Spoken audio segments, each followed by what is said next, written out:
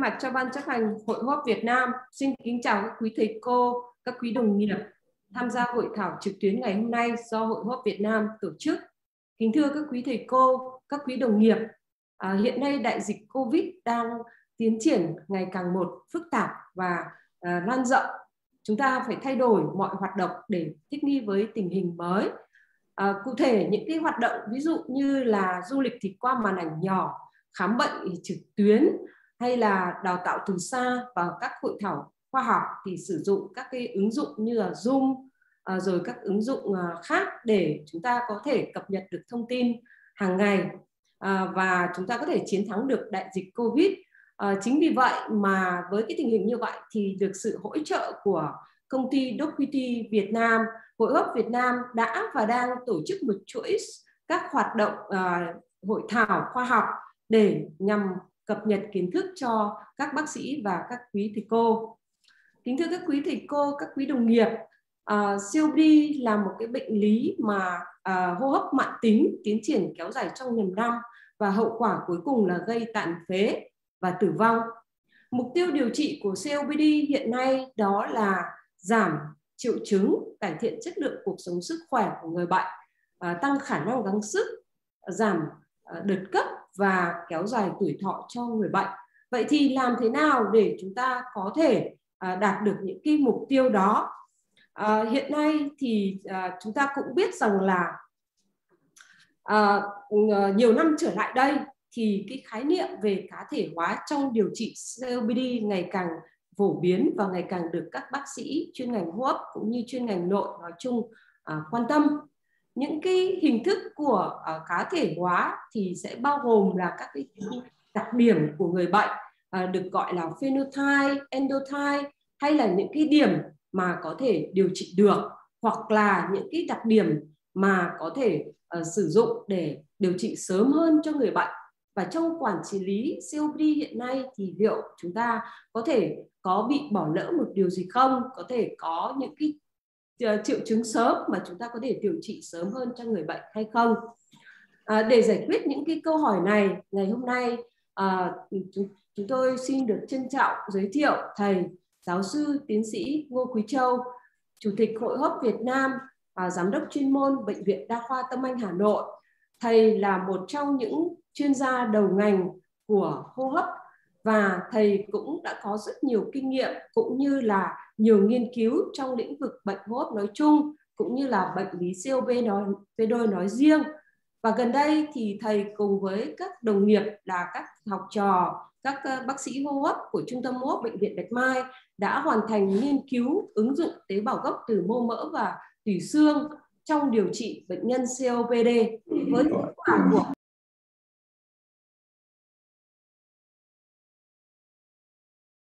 COD trong tương lai.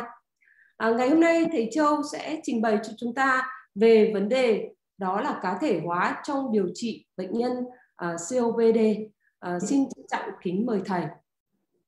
Vâng, xin uh, cảm ơn Phó sư tiến sĩ Chu Thị Hạnh, Phó Chủ tịch Hội Việt Nam, Chủ tịch Hội hấp Hà Nội và trưởng khoa hấp bệnh viện Đa khoa Tâm Anh đã có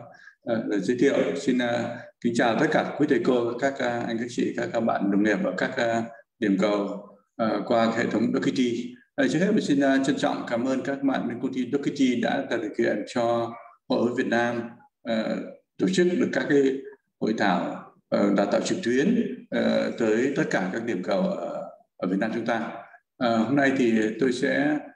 trình bày với à, các bạn vấn đề điều trị uh, cá thể hóa trong CBD.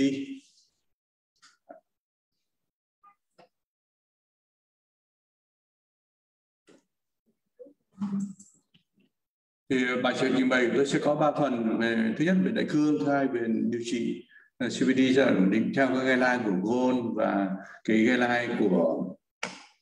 uh, uh, Tây Ban Nha mới uh, ra gần đây cũng như trên các kinh nghiệm thực tế mà chúng tôi làm công việc hàng ngày uh, tại uh, các bệnh viện. Uh, sau đó thì có một phần là trình bày về các cái điều trị các bệnh đồng mắc uh, thường gặp trong bệnh lý CBD. Uh, về mặt định nghĩa thì CBD đã được ờ, Gold hành cho 21 ờ, nêu là cái bệnh lý thường gặp có thể dự phòng và điều trị được được trưng bởi các cái triệu chứng hô hấp và tắc nghẽn đường thở tiến triển nặng dần và do các bất thường đường thở và vena. Gây nên bởi tiếp xúc với các phần tử khí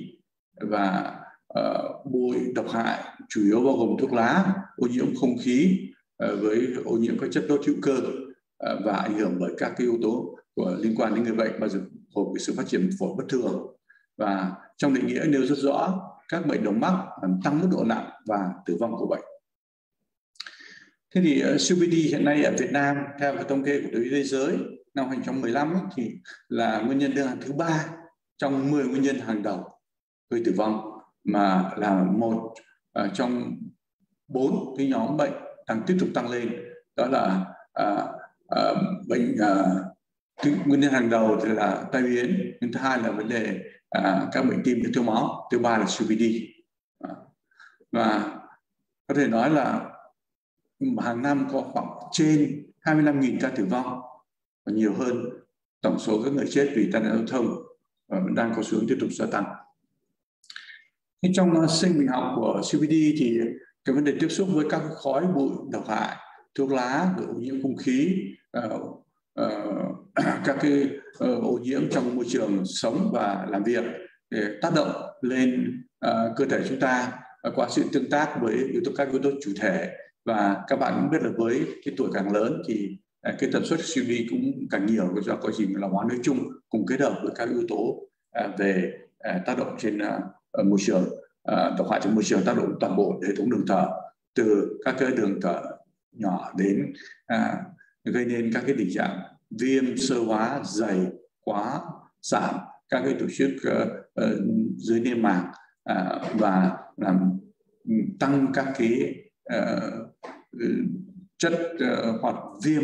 dẫn đến cái các bệnh lý tổn thương ở toàn bộ đường thở từ đường hô hấp trên đường hô hấp dưới uh, các giường uh, màu mạch phía nam cũng như các cái uh, tạng khác của cơ thể. À, và ở mỗi một cái cơ thể con người ta thì có những yếu tố khác nhau ảnh hưởng ờ, tới ờ, cái hậu quả của cái tác động môi trường đó. Ờ, dẫn chúng ta có những cái kiểu hình dựa trên một số cái kiểu gen khác nhau dẫn dẫn đến các biểu hiện khác nhau. Và trong một số trường hợp thì có những cái điều trị hiệu quả. Hiện nay hy vọng với sự tiếp tục nghiên cứu phát triển về mặt uh, di truyền học. Và di học phân tử thì sắp tới sẽ có những cái hướng điều trị tốt hơn phù hợp hơn với từng đối tượng. Uh, người bệnh thì ờ, về mặt lâm sàng mà nói các cái triệu chứng uh, uh, cơ bản mà gợi ý đến COPD bao gồm dấu hiệu khó thở. Thì khó thở ở đây thì xuất hiện uh, và tiến triển uh, tồn tại theo thời gian và tăng lên khi gắng sức. À, cái điểm đó giúp phân biệt so một số các cái bệnh lý khác như hen phế quản thì à, nó xuất hiện từng cơn ở đây thì à, xuất hiện và à, tồn tại với thời gian. Và à, các cái ho dấu hiệu ho mãn tính thì có thể từng bệnh nhân có thể ho từng đợt và ho khan và kèm theo có thể có tiếng wheezing, gì à, tái phát. Nên nói tất cả các cái khạc, kiểu khạc đờm mãn tính đều có thể là dấu hiệu của bệnh phổi tắc mãn tính. À, một số các trường hợp bệnh nhân à, sẽ có những đợt nhiễm trùng tái phát và yếu tố rất quan trọng phải hỏi đó là về tiền sử các yếu tố nguy cơ. Thì à, bao gồm một số yếu tố về chủ thể ví dụ như à, yếu tố di, di, di truyền gia đình bất thường bẩm sinh à, có cái phát triển ví dụ như à, à, các cái bất thường về tiểu sản phổi. Rồi yếu tố hút thuốc lá thuốc lào khói bụi hơi khí nghề nghiệp các hóa chất vân vân. Và một số yếu tố lúc còn trẻ tiền sử gia đình à, ví dụ như sơ sinh à, non tháng thiếu cân và nhiễm trùng hô hấp à, tái phát trong lúc à, niên thiếu là những yếu tố mà à, người mắc bệnh COPD hay gặp. Tất nhiên không đặc hiệu nhưng là yếu tố mà trước chúng ta ờ, phải định hướng tới cái việc mà có thể là COPD và cho làm các cái thăm dò. Trong đó có uh, các uh, chức năng đó chức năng hô hấp với cái test phổi phế quản với cái chỉ số uh, Kessler FM1 trên MVC dưới 7% test của phiên bản với 400 mg salbutamol và cái là thông thường nhất chúng ta sẽ thẳng thực hiện. Thế thì khi sau khi xác định chẩn đoán rồi thì bệnh nhân ờ, uh, CVD sẽ được đánh giá đánh giá về nhiều mặt trước hết đánh giá về triệu chứng bằng cái thang điểm kép và thang điểm khó thở MRC và sẽ được hỏi kỹ để đánh giá cái tiền sử đợt cấp trung bình và nặng trong cái năm trước đó. À, rồi sau đó thì bệnh nhân sẽ được làm các cái thăm dò à, ví dụ ở xét nghiệm từ thông thường nhất xét nghiệm máu ờ, công thức máu rồi các xét nghiệm để đánh giá cái các bệnh lý toàn thân. Đặc biệt là CVD thì hay xảy ra ở người lớn tuổi nên phải đặc biệt phải quan tâm đến cái việc mà phát hiện các bệnh lý khác. Ví dụ ờ, cái số loại chuyển hóa từ chuyển hóa đường bệnh tiểu đường với điểm định lượng glucose máu HbA1c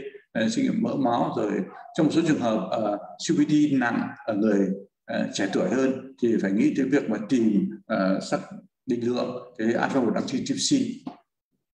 với alpha một antitrypsin thì ở Việt Nam chúng ta hiện nay chưa có uh, cái giải pháp để truyền uh, alpha một antitrypsin uh, cho những bệnh nhân thiếu hụt nên chúng tôi cũng không có đi sâu về vấn đề này. Rồi dựa trên những cơ sở uh, mà sau khi chẩn đoán rồi thì nếu có nếu có điều kiện sẽ đánh giá kỹ hơn về cái tình trạng rối loạn thu tắc nghẽn với mức độ ứ khí ví dụ đo được dung tích phổi toàn phần thể tích cặn phổi sẽ đánh giá tình trạng ứ khí căng phổi phổi. À, bệnh nhân sẽ được làm các cái một số thăm dò về mặt chẩn đoán hình ảnh. Ví cái thông thường nhất là chụp x quang tim phổi. À, sẽ thấy cái tình trạng dạ phê nang uh, uh, thể tích phổi nó tăng lên. Nhưng mà trong một số trường hợp thì có những cái tổn thương khác ít hơn thì khó phát hiện được. Ví dụ những tổn thương có thể một cái u phổi nhỏ ở cái vùng rãnh uh, cạnh cột sống này đằng sau tim hoặc cái trường hợp giãn phế quan giãn uh, phế quản ấy hình um, chung thì cũng khó thấy. Thì những trường hợp mà cũng có điều kiện mà nhất là lần đầu tiên ấy, mình khám bệnh nhân thì có thể phải trao đổi bệnh nhân xem có điều kiện thì nên chụp cái lớp vi tính phổi lớp mỏng phân giải cao để vừa đồng thời đánh giá được cái tình trạng giãn phế nang của trong CVD vừa phát hiện các cái bệnh lý khác à, trong CVD về giãn phế nang thì cái chụp các lớp vi tính sẽ giúp xác định cái vị trí à, thể loại giãn phế nang ví dụ giãn toàn tiểu thủy, à, khu trú ở vùng nào à, và ví dụ các rãnh viên thủy nó có hoàn toàn hay không hoàn toàn giúp cho viện để tiên lượng và chỉ định à, cái cách can thiệp à, giảm thể tích phổi ví dụ như giãn phế nang cùng à, thủy trên Ờ, mà sẽ duy trì hoàn toàn cái việc mà đặt van một chiều có thể có hiệu quả. Uh, chúng có lớp vi tính lớp mỏng cao còn giúp cho cái phát hiện các cái trường hợp giãn phế quản mà trên phim vi quang phổi khó nhìn thấy giãn phế quản hình, hình trụ giãn phế quản ít. À, ngoài ra thì dựa vào các cái việc mà hỏi bệnh khám bệnh trên lâm sàng chúng ta sẽ có thể phải làm một số thăm dò các cái bệnh lý đồng mắc khác. À, thông thường nhất là điện tâm đồ để xem điện xem có những cái rối loạn bất thường về nhịp không rồi vấn đề về các cái à, à, nghĩ phải có phì đại không thất phải làm sao? Cũng như trong một số trường hợp ví dụ có cái ờ, triệu chứng mà ờ, uh, nhịp, nhịp nó không đều uh, có thể điện tâm đồ bình thường không thấy được thì cũng có thể phải làm cái hôn tơ điện tâm đồ để giúp uh, phát hiện theo dõi trong 24 giờ phát hiện có những rối loạn nhịp nhĩ nhịp nhĩ nhanh hoặc là dung nhĩ từng cơn hoặc bất thường thất. Ví dụ như ngoại thương thu thất thậm chí là à, hoạt động thu thất đạo rồi nhịp thất à, bệnh nhân có thể được làm siêu âm tim để đánh giá ờ, toàn bộ chức năng cơ tim cũng như đánh giá về thất phải ờ, vấn đề áp lực ước tính áp lực động mạch phổi. Ờ, vấn đề đo mật độ xương cũng được uh, quan tâm và trong một số trường hợp uh, có thể có chỉ định một số thăm dò khác ví dụ bệnh nhân có dấu hiệu trầm ngược dạ dày thực quản thì có thể có chỉ định soi dạ dày vân vân. Thì đánh giá mức độ khó thở MRC thì có uh, cái mức không là mức mà chỉ có thở khi gắng sức và tập luyện rất là nặng thôi. Cái có thể coi như là hoàn bình thường. À, mức độ 1 là khó thở khi đi nhanh trên đường bằng hoặc lên dốc thấp. À, mức độ 2 là khó thở, vì khó thở nên người bệnh phải đi chậm hơn người cùng tuổi trên đường bằng và hoặc phải dừng lại để thở ngay cả khi đi một mình trên đường bằng. Mức độ 3 là khó thở phải dừng lại sau khi đi bộ 100 mét hoặc sau vài phút trên đường bằng mức độ 4 khó thở nhiều đến nỗi không thể rời khỏi nhà hoặc khó thở ngay cả khi làm những động tác rất là thông thường như là ăn uống hay thay quần áo. Và đây là cái thang điểm ờ, kép ờ, đánh giá cái ờ, ảnh hưởng của bệnh phổi tắc nghẽn tính lên các điểm về, về sự chất lượng cuộc sống trong hô hấp cũng như toàn thân. Sẽ có tám câu hỏi câu hỏi thứ nhất là bệnh nhân có ho không? Tôi hoàn toàn không ho để đến không. Và ho thường xuyên tối đa mức nặng thứ hai là tôi có, không có chút đờm nào trong phổi không có đờm thì không điểm và trong phổi tôi có rất nhiều đờm thì năm điểm câu hỏi thứ ba là tôi không có cảm giác nặng ngực, không có tí gì thì không điểm tôi có cảm giác rất nặng ngực thì năm điểm câu hỏi thứ tư, không, tôi không bị khó thở khi lên dốc hoặc lên một tầng lầu, tầng gác không thì là không điểm và tôi rất khó thở khi lên dốc hoặc lên một tầng lầu, tầng gác thì là năm điểm tiếp theo là tôi không bị hạn chế trong hoạt động ở nhà. Không không bị hạn chế gì thì không điểm rất bị hạn chế trong hoạt động ở nhà 5 điểm à, tiếp theo là tôi yên tâm ra khỏi nhà dù có bệnh phổi nó lại ảnh hưởng đến tâm lý. Không có uh, ảnh hưởng gì hoàn toàn yên tâm thì là không điểm và tôi không yên tâm chút nào khi ra khỏi nhà bởi vì có bệnh bệnh phổi 5 điểm và câu hỏi tiếp theo là vấn đề đánh giá giấc ngủ. Tôi ngủ ngon giấc thì không điểm và tôi không ngủ ngon giấc vì có bệnh phổi. Ờ, thì là 5 điểm. Và cái câu hỏi cuối cùng đánh giá cái sức khỏe toàn trạng chung nói chung, tôi cảm thấy rất khỏe, không điểm. Và tưởng đấy không còn chút lực nào, thì 5 điểm. Như vậy thì điểm tối đa là 40 điểm. Và như vậy, mỗi một lần bệnh nhân đến khám lại với chúng ta, đặc biệt lần đầu thì cần đánh giá kỹ để chúng ta rút ra phân loại, như vậy. Thì ờ, sau khi bệnh nhân đã được ờ, đo chức năng hấp với test phục hồi phế quản với cái chỉ số Gensler dưới 0,7 thì chúng ta sẽ xác định khẳng định được là à, có bệnh thành ẩn tính. Và dựa theo cái chỉ số thể tích thời gian tối đa giây đầu tiên so với chỉ số lý thuyết thì chúng ta sẽ phân độ mức loại nặng của rối loạn thông khí tăng nghẽn đường thở đấy. Với độ gôn 1 thì FM 1 còn hơn hoặc bằng 80%, gôn 2 FM 1 từ 50 đến 19%, gôn 3 từ 30 đến 49% và gôn 4 đấy, một dưới 3%. À, sau đó chúng ta sẽ đánh giá à, cái việc mà hỏi cái tiền sử đợt cấp à, trong năm trước. À, ví dụ như bệnh nhân có hai đợt cấp hoặc ít nhất là trên hạn cấp hoặc một đợt cấp phải vào viện. Và cái nhóm thứ hai nhóm ít đợt cấp thì không hoặc một đợt cấp và không có đợt cấp nào phải vào viện. À, cái đó sẽ giúp cho phân loại cái nhóm mà ít đợt cấp hoặc là nhiều đợt cấp và dựa vào hai, việc đánh giá hai cái thang điểm triệu chứng, thang điểm MRC thang điểm khó thở và thang điểm KET thì chúng ta sẽ chia chúng ra hai cái nhóm theo cái trục tung này. Và cái nhóm thứ nhất là ít triệu chứng với thang điểm MRC từ 0 đến 1 thang điểm kết dưới 10 và nhóm thứ hai là thang điểm,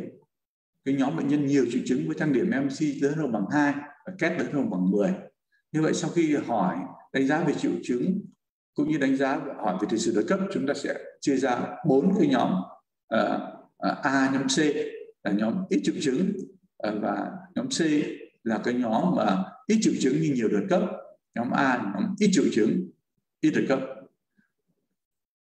Cái nhóm thứ hai là nhóm B. Nhóm B là nhóm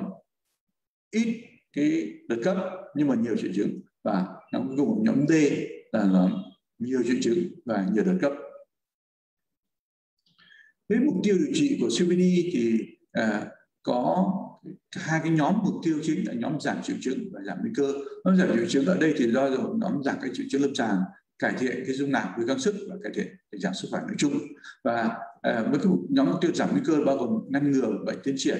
ngăn ngừa điều trị đợt cấp và giảm tỷ lệ tử vong. Thì goal 2021 đưa ra cái khởi đầu điều trị hướng dẫn khởi đầu điều trị với các nhóm. Cái nhóm nhóm A nhóm uh, ít triệu chứng và ít đợt cấp ấy, thì có thể dùng bất cứ một cái thuốc giảm phế quản thông thường nào. Uh, cái đến cái nhóm C là cái nhóm ít triệu chứng nhưng có nhiều đợt cấp thì khởi đầu bằng thuốc ờ, kháng kinin kéo dài. Cái nhóm B là nhóm ít đợt cấp nhiều triệu chứng thì có thể khởi đầu bằng nhóm kích thích beta tiệm kéo dài hoặc là kháng kinin kéo dài. Với nhóm D là nhóm nhiều triệu chứng và nhiều đợt cấp thì chúng ta có thể bắt đầu bằng à, kháng kinin kháng kinin kéo dài hoặc là à, kết hợp cả kháng cholinergic kéo dài la mã kết hợp với kích thích beta động kéo dài khi mà bệnh nhân có nhiều triệu chứng ví dụ thang điểm két trên 20 hoặc là chúng ta kết hợp uh, corticoid phun hít với kích thích beta động kéo dài khi có cái số lượng bệnh cầu an toàn trong máu trên 300 Thế sau khi chúng ta cho thuốc như vậy thì sẽ phải đánh giá lại đánh giá lại dựa vào cái việc mà thăm khám lâm sàng à, và à, đánh giá về cái tình trạng à, à, còn khó thở hay không này rồi có đợt kịch phát không này và sau đó cần thiết thì điều chỉnh và xin lưu các bạn là phải dành thời gian để mà ngoài cái việc mà thăm khám lâm sàng thì phải bảo bệnh nhân uh, mang cái hộp thuốc người ta dùng tới để rồi mình kiểm tra lại xem cái kỹ thuật dùng có đúng không bệnh nhân có dùng thuốc không. Thì cũng có những trường hợp mà ờ, một hộp thuốc 120 liều sau 3 tháng 3 tuần một tháng vẫn còn 2 phần 3 chỉ có nói là cái tuân thủ rất là kém. Rồi bệnh nhân dùng thuốc thì chúng ta hướng dẫn à, mặc dù là hướng dẫn kỹ ngay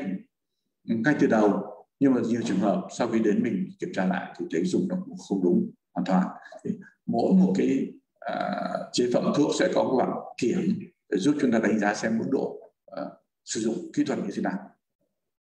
Rồi cũng trao đổi kiểm tra lại vấn đề mà bệnh nhân uh, có các cái luyện tập các cái vấn đề về phục hồi chức năng hô hấp này tập thở này về vận động vân vân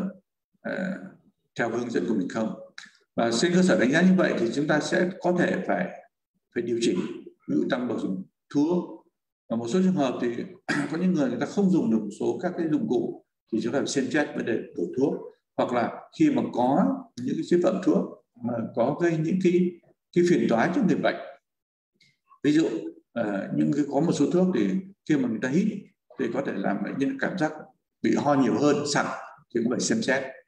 xem xét và khi nếu mà bệnh nhân mà những lần tái khám tiếp theo mà bệnh nhân đã uống nhiều rồi tốt rồi ổn định rồi thì cũng thể xem xét có thể ờ, giảm bậc cho người bệnh. Thế thì ờ, dựa trên cái đánh giá ờ, sau khi phải đầu điều trị như vậy thì tùy theo cái thuốc ban đầu của bệnh nhân tùy theo cái tình trạng. Ví dụ ở đây những bệnh nhân còn khó thở thì nếu ban đầu đang dùng uh, hoặc là uh, uh, kháng codeine kéo dài hoặc là kích thích beta kéo dài mà vẫn còn triệu chứng khó thở thì chúng ta xem xét cái vùng phối hợp bộ đôi. À, thuộc giãn phế quản kép à, kháng kháng điện kéo dài trích thích beta dài. Hoặc là nếu đang dùng cái giãn hết quản kép rồi mà vẫn còn khó thở thì phải xem xét xem bệnh nhân có dùng thuốc không có dùng đúng kỹ thuật không. Và à, nếu như đã dùng thuốc rồi nhưng mà không phù hợp với tuổi tác với đặc điểm của bệnh nhân để xem xét cân nhắc đổi cái dụng cụ hít hoặc là đổi thuốc hoặc là tìm các nhân kháng thở khác ví dụ bệnh nhân bị suy tim nhỉ à, chúng ta nếu hỏi lâm sàng sẽ có cái đặc điểm bệnh nhân có thở uh, à, tăng lên khi buổi tối khi nằm mà nằm thì phải nằm đầu ca rồi để kết hợp với thăm dò về tim mạch như là à, siêu tim à, điện tim rồi định lượng ProBNP có thể xác định được thêm yếu tố về suy tim. Nếu bệnh nhân mà à, đang dùng à, hoặc là ICS ờ, LABA hoặc là bộ ba LABA LAMA ICS mà uh, vẫn còn khó thở. Như vậy là chứng tỏ những cái này nó không có nhiều quả thì chúng phải cân nhắc xem xét. Nếu như có thêm một số yếu tố khác ví dụ như là có viêm phổi có biến chứng viêm phổi thì à, chúng ta phải cụ thể xem xét bỏ cái ICS bỏ cái nó có thể cái food đi và con số nghiên cứu đã thấy là nếu trong trường hợp đấy mà đáp ứng kém đã xét rồi dùng đúng rồi mà vẫn đáp ứng kém và nhất có viêm phổi là thì việc cắt ICS nó không có ảnh hưởng gì. Thế ngược lại với bệnh nhân mà à, sau khi điều trị khởi đầu mà còn cái đợt kỳ phát ấy còn đợt kỳ phát thì chúng ta sẽ phải xem xét xem à, bệnh nhân nếu đang dùng hoặc là kháng cholinergic dài hoặc là kích beta dài. À, thì chúng ta sẽ có hai điều uống. Một là chúng ta cho dùng bộ đôi rồi đánh giá lại cả thuốc dạng hai loại dạng phế quản kép. À, nếu như bệnh nhân đang dùng một trong hai thứ thuốc dạng phế quản này mà có số lượng bạch cầu toan trên 300 tế bào trên polyp hoặc là bạch cầu toan trên 100 thôi nhưng mà có hai đợt cấp đến hơn hai đợt cấp trung bình hoặc là một đợt cấp nặng thì chúng ta xem xét kết hợp với ICS cho cơ thích được phun hít và kết hợp với kích thích beta cơ dài. Thế còn ngược lại, nếu bệnh nhân mà đang dùng thuốc giãn cận kép rồi, gamma kết hợp loa rồi, thì nếu bệnh nhân có số lượng bệnh cầu toan trên 100 thì lúc này lại xem xét thêm ICS vào bổ đôi giãn nó còn kép. Và nếu như mà cái số lượng mạch cầu toan của bệnh nhân dưới 100 thôi. Thì nó có phải xem xét dùng phối hợp thêm với thuốc khác. Ở đây thì uh, Gold đưa ra dùng uh, cái thuốc ức chế phốt uh, ờ, Diateras 4 Gofublas đã bắt đầu có những từ Việt Nam. Và vừa rồi thì cái hướng dẫn của uh, hội hốp uh, uh, Tây Ban Nha đấy với cái tác giả chính là uh, Mark Viales thì đưa ra vấn đề là ở đây thì có thể xem xét cái việc của dùng thuốc ở loãng đờm và như ACC Mucomyx thì cũng có à, cái tác dụng để hạn chế cái phần cấp lần nào. À, với các thì chỉ định ở cái bệnh nhân mà FE1 dưới 5% và có tình trạng viêm quản thế còn nếu bệnh nhân đang dùng bộ ba là ba acid rồi nếu như có viêm phổi đã vương kém thì mình cắt acid đi còn nếu đang dùng bộ ba này mà không có viêm phổi không được cản vẫn có thể tiếp dùng bộ ba và có thể cho dùng à, nhóm macrolide như azithromycin à, dùng, dùng kéo dài ở những đối tượng đã từng hút thuốc. Thế còn những cái bệnh nhân mà đang dùng bộ ba hoặc là acid ba thì mà có tình trạng viêm phổi có biến chứng viêm phổi thì à, cắt asset gì mà dùng bộ đôi giảm cái quản kép là mà là bảo thì uh, như tôi lúc ban đầu tôi nói thì uh, bệnh nhân à, uh, uh, CVD thì uh, các cái nước có những cái guideline riêng của mình. Và uh, hội uh, Tây Ban Nha thì tháng uh, 3 tháng 4 vừa rồi cũng đưa ra một cái guideline uh, nêu cái đánh giá phân phân tầng người bệnh CBD À, với các nhóm mà ít nguy cơ và nhóm nguy cơ cao, dựa vào ba cái chỉ số. Chỉ số thứ nhất là mức độ rối loạn thông khí tắc nghẽn FE1 chúng ta xác định ngay từ đầu đấy ít nguy cơ là còn trên 50% nguy cơ cao lên 5% thang điểm khó thở MAC từ 0 đến 1 là nguy cơ thấp và 2 đến 4 là nguy cơ cao. Và số đợt cấp trong năm trước từ 0 đến 1 là không được có đợt cấp phải vào viện thì là nguy cơ thấp. Và hai trở lên hoặc là một cấp vào viện là nguy cơ cao. Mà chỉ, chỉ cần ít nhất là một cái tiêu chí trong ban tiêu chí này là xếp vào nguy cơ cao rồi. À, họ đưa tiêu chí đấy để mà giúp cho cái việc định hướng à, cái việc mà điều trị à, cũng gần tương tự như gold trong đó cái điểm à, chung ban đầu thì cũng tương tự như vậy. À, như gold đó là vấn đề phải quan tâm đến việc mà cai thuốc lá. Ờ, hôm nay thì chúng ta cũng không có nhiều thời gian để nói kỹ việc cai thuốc lá mà thực ra thì với cai thuốc lá cũng phải uh, áp dụng các cái biện pháp hỗ trợ cho bệnh nhân cai nghiện đặc biệt những bệnh nhân nghiện nhiều uh, với cái, cái việc phụ thuộc rất lớn vào nicotine thì bệnh nhân nghiện càng càng nặng thì càng phải hỗ trợ nhiều. Ví dụ như mình chúng ta có dùng các chế phẩm thay thế nicotine thì với băng dán chẳng hạn thì những bệnh nhân ấy có thể nghiện nặng có thể dùng tới băng dán là 21 uh, Ờ, uh, mg trên ờ, trên một ngày. Nhưng mà sau đó thì mình có thể giảm dần tùy theo cái đáp ứng của bệnh nhân. Rồi hướng dẫn người ta cách dùng thuốc và quan tâm vấn đề các cái uh, dùng thuốc mà uh, giải quyết khi khó thở cũng như quan tâm các bệnh đường mắc. Vấn đề vaccine.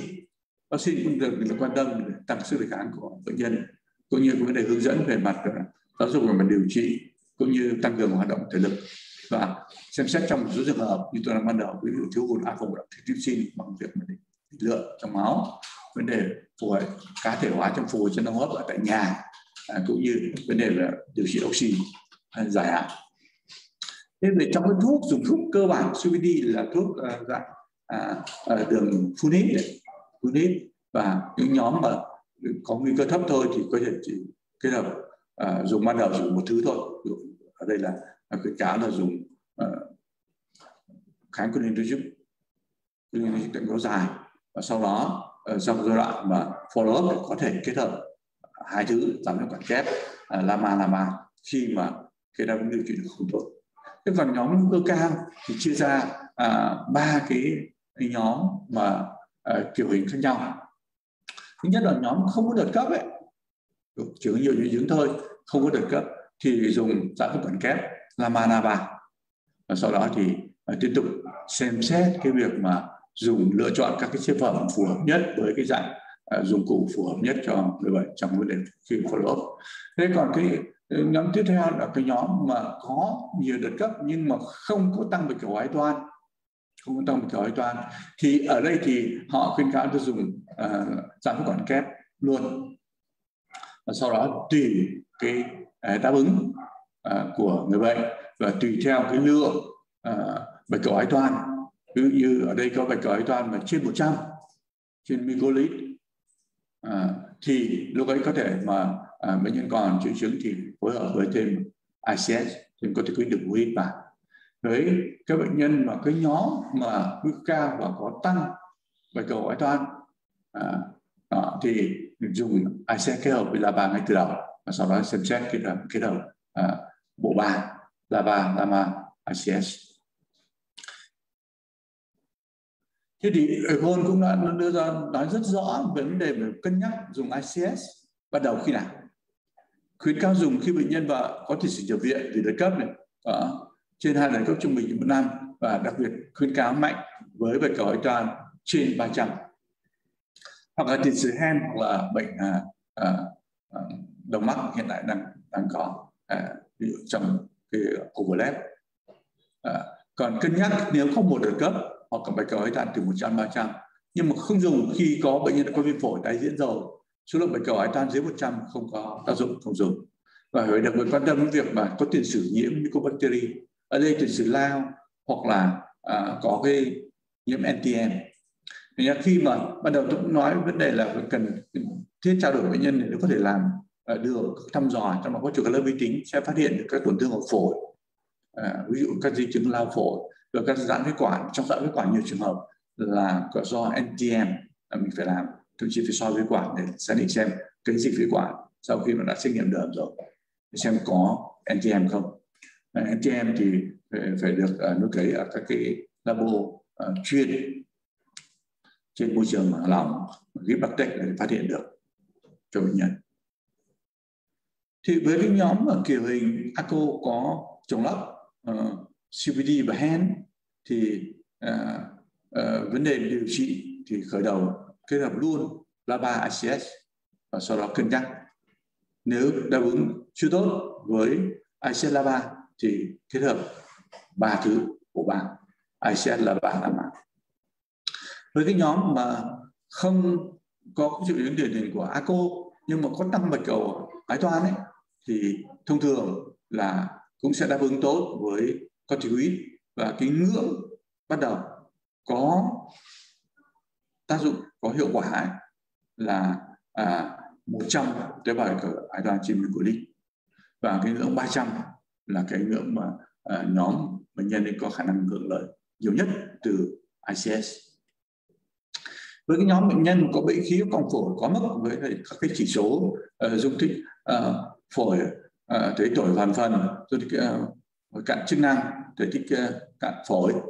thì ờ, và tính là các chỉ số này. Thì thông thường là đấy mức khoảng trên 120 trăm do dự dự đoán. Và khi ở uh, bẫy khí ấy, thì có cái uh, thể tích uh, phổi khí cạn và dung tích phổi cạn chức năng ấy, tăng lên. Nhưng cái dung tích thể tích phổi toàn phần nó còn tương đối bình thường thì cái chỉ, chỉ số uh, thể tích uh, phổi cạn trên cái dung tích phổi toàn phần ấy, thể tích phổi toàn phần nó nó tăng còn tăng phổi quá mức thì ờ, cái vì cái TLC nó cũng tăng nhưng cái chỉ số này nó tăng ít thôi. Đấy là cái điểm mà cũng khác biệt một chút. Và đây trên ít quang chúng ta sẽ thấy tình trạng mà căng phổi quá mức trên ít quang với cái chuyện mà tim hình giọt nước hoặc khoảng sáng tạo thế nào và khoảng sáng trước tim sau sau tim nó tăng lên. Thì với điều trị cái nhóm bệnh nhân tăng căng phổi phổi quá mức ấy, thì mục đích điều trị là giảm khó thở tăng cường khả năng gắng sức giảm căng phổi tĩnh và đậm. Thì ngoài cái việc mà à, các biện pháp thông thường chung hút thuốc vật lý trị liệu dinh dưỡng rồi ờ, oxy liệu pháp vân thì cái việc mà à, cái thuốc giảm ổn định thì ở đây cái nhóm này nên dùng phối hợp à, lama với lava. Và trong một số trường hợp có thể sử dụng thêm thuốc giảm và đường ngắn. À, với bệnh nhân mà bị lao phổi lao phổi cũng là một cái nhóm bệnh nhân mà cũng thường gặp và có có CBD có thể à, à, trong cái quá trình tiến triển của lao gây nên các tổn thương biến đổi đường dẫn khí và nhu phổi gây giãn phế quản co kéo này sơ hóa hẹp khu trú phế quản xoắn vặn phế quản mạch máu giảm khí phổi khi huyết thống môi trường vân vân. Thì cần phải chỉ con tổn thương màng phổi nó thì hiệu quả dẫn đến hội chứng rối loạn thông khí à, tắc nghẽn hoặc là kết hợp với hạn chế. Và nhất khi bệnh nhân hút thuốc đi cùng đó thì cái chuyện mà rối loạn thông khí à, tắc nghẽn nó tăng lên. Và ở những trường hợp đấy thì à, chúng ta thì nếu có điều kiện sẽ đánh giá trên cái chụp Wheeler vì định ngữ trường hợp này để thấy rất rõ ngoài cái giãn phế nam lần thứ thì đây thì còn có những di chứng ở vùng đỉnh phổi à, bên trái đây di chứng của nam và khi mà đánh giá thì chúng ta à, cần làm các xét nghiệm kể với nhân vào đợt cấp cũng như là lúc mà không hoàn cấp cũng làm xét nghiệm vi khuẩn tìm vi khuẩn lao dựa vào xét nghiệm à, IB trực tiếp trên xuất và cấy cấy đờm uh, tìm vi khuẩn lao trên cái chất lỏng à, và trong giai đoạn ổn định thì uh, dùng uh, kích thích uh, beta liệu kéo dài kháng cholinergic hoặc kết hợp hai thứ và không có chỉ định dùng corticoid phun ở những bệnh nhân này. Và nhấn mạnh cái vấn đề phải những bệnh nhân mà đã bị lao rồi thì cái cấu trúc của đường thở nó thay đổi như vậy. À, dẫn lưu của đường thở nó sẽ có những nhiều chỗ nó không không được tốt và vấn đề tiêm ngừa các loại vaccine và vấn đề phổi trong nó là rất quan trọng để, giảm cái ờ, ờ, cái cái nguy cơ các nhiễm trùng à, ở, phổi trên cái nền mà à, bị đã bị lao và COPD rồi. À, lúc tôi muốn nói vấn đề về vấn đề giãn phế quản thì, thì thực sự là cũng cần phải quan tâm à, à, mà cũng thường gặp ở bên COPD đặc biệt là COPD nặng. À, và trên phim mỹ quang phổi nhiều khi nó không rõ. Ví dụ ở bệnh nhân này thì à, có những giãn phế quản hình ống ở đây. Ở vùng thủy sữa cũng có cái tổn thương một chút nhưng mà thủy sữa này chụp phim đi qua là cũng, cũng sẽ khó thấy. Thì ở bên như này mà nhờ có cái chụp cái lớp lớp mỏng độ phân giải cao sẽ giúp xác định được cái hình giãn phế quản hình ống thực ra cả hai bên phổi bên phải có nặng hơn nhiều hơn một chút nhưng bên trái cũng có. Đấy ví dụ chỗ này. Đó. thế thì sau khi xác định như vậy thì à, cũng phải à, là xét nghiệm đờm để tìm kỹ xem có vi khuẩn la không có NTM không bằng cách là xét nghiệm IP trực tiếp cấy mở ghi mở ghi dịch phế quản. Và những bệnh nhân có vi có giãn kết quả như vậy thì uh, uh, sẽ dùng thuốc kích thích beta trong cái dài hoặc kháng cái dài hoặc cả hai thì theo cái mức độ cái triệu chứng. Và có chỉ định dùng nhóm macrolic có giảm như tôi thường thường và dùng với erythromycin liều thấp với liều 10 mg trên nặng trên ngày chia hai lần cái nhóm hạn thở và không dùng ICS đặc biệt cái nhóm bệnh nhân này giãn phế quản là cái nhóm mà cái sức đề kháng tại phổi rất là kém thì cần đặc biệt quan tâm được tiêm phòng vaccine cho người bệnh phòng cúm phế cầu tập thở tập ho dẫn đến tư thế đặc biệt những khẩu giãn phế quản nhiều thì dẫn đến tư thế để cho bệnh nhân ho khan được đờm ra và ít nhiễm trùng ít phá hủy tiếp tục phổi. Với cái bệnh nhân mà có suy hấp mãn có tăng uh, thì và suy hấp mãn đây có thứ nhất là cái nhóm suy hấp mà có chỉ có suy có giảm áp lực sinh phần oxy thôi. PaO2 dưới 55 mg ngoài thời cấp. Vì chuyển động khoa tối ưu rồi thì có chỉ thở oxy giảm kéo dài bằng các cái máy chiết xuất oxy à, và sau khi đã được à, căn chỉnh với liều lượng oxy khởi đầu thông thường một lít cho sau mình tăng lên và theo dõi đáp ứng và theo dõi kiểm tra cái vòng mạch để tránh tình trạng mà khi thở oxy nhiều quá thì sẽ lưu lượng lớn quá thì làm tăng cái tình trạng à, tăng khí carbonic trong máu và dẫn đến toàn hốt thì ở những bệnh nhân ờ, uh, COPD mà có suy hấp mãn ấy, thì nếu cho thở oxy thì xin các bạn cũng lưu ý là phải trao đổi thuyết phục cùng với bệnh nhân gia đình bệnh nhân là phải thở càng lâu càng tốt. À, lý thuyết mà nói thì người ta nói là có thể ờ, uh, 15 giờ trên 24 giờ bắt đầu có hiệu quả. Nhưng thực ra nếu 15 tiếng hay 16 tiếng thì chúng ta vẫn còn 8 tiếng nữa. Mà nếu để nhân nghỉ một lúc một mạch không thở oxy trong vòng 8 tiếng thì cái hiệu quả của 15 tiếng hay 16 tiếng còn lại nó cũng rất là ít. Và phải nói bệnh nhân uh, quan tâm cái việc đấy dùng thường xuyên. Nếu có nghỉ cũng một hai giờ là cùng vẫn có thể đi ra ngoài có oxy tắm rửa ăn uống oxy nhưng mà sau đó vẫn tiếp tục dùng. Và khi bệnh nhân mà có thêm tăng mà giảm oxy có thân tăng CO2 mãn tính rồi ấy, với áp lực riêng phần oxy uh, PA CO2 lúc nghỉ trên 45 mét thủy ngân đánh giá 21 tuần sau đợt cấp. Và à, sau khi tầm soát thì dối loạn bình thường tại nghẽn đi ngủ thì sẽ có chỉ định thông khí nhân tạo không xâm nhập về đêm. Ngoài cái chăm sóc thông thường tối ưu với mục tiêu là để cải thiện làm giảm PaCO2 của nhân có tăng.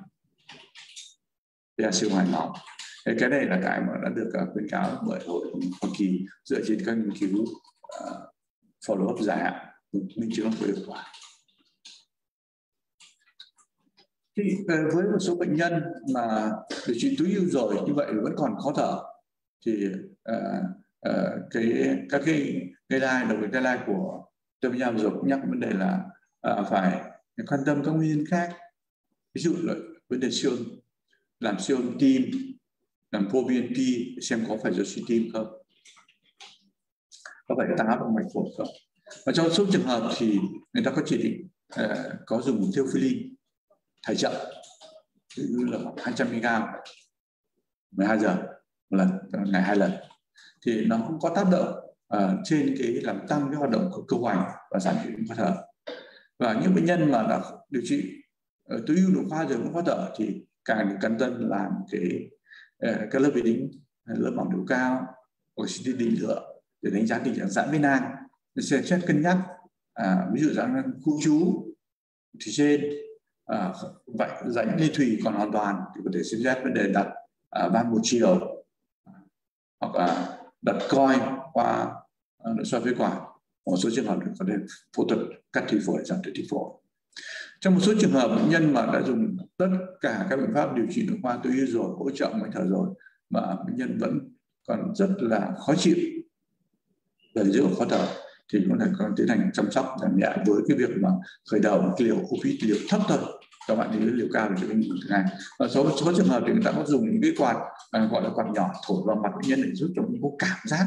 rằng là là thông khí tốt hơn. Nhưng cái đó thì cũng chỉ là về mặt tâm lý là chính thế thì ngoài một số các bệnh động mạch thông thường như vừa rồi chúng tôi nói ví dụ vấn đề ờ, giãn giảm phế quản này thì các bệnh động mạch khác cũng ừ, cần được quan tâm ở đây được mức độ uh, nhiều nhất à, với bệnh nhân COPD đó vấn đề tăng huyết áp này vấn đề rối loạn mỡ máu này vấn đề các bệnh lý bệnh ngoại vi bệnh uh, uh, uh, tim mạch này vấn đề ờ, uh, trong ngừa dậy dạ thực quản này uh, loãng xương vân vân. Để quan tâm đến toàn diện cho người bệnh và các bạn biết là ờ, với các yếu tố ờ, từ trong môi trường tiếp xúc từ khói thuốc lá thuốc lá ô nhiễm môi trường khói chất hữu cơ đốt rồi các nhiễm trùng tái phát tác động à, trên cơ thể à, từ lúc có thể còn ở trong trong bụng mẹ với mẹ của mẹ tiếp xúc với các yếu tố như vậy để lúc uh, sinh ra uh, lớn lên uh, nó sẽ tác động uh, qua cơ chế và các cái uh, hoạt hóa các cái tế bào viêm các trung gian viêm trên toàn cơ thể.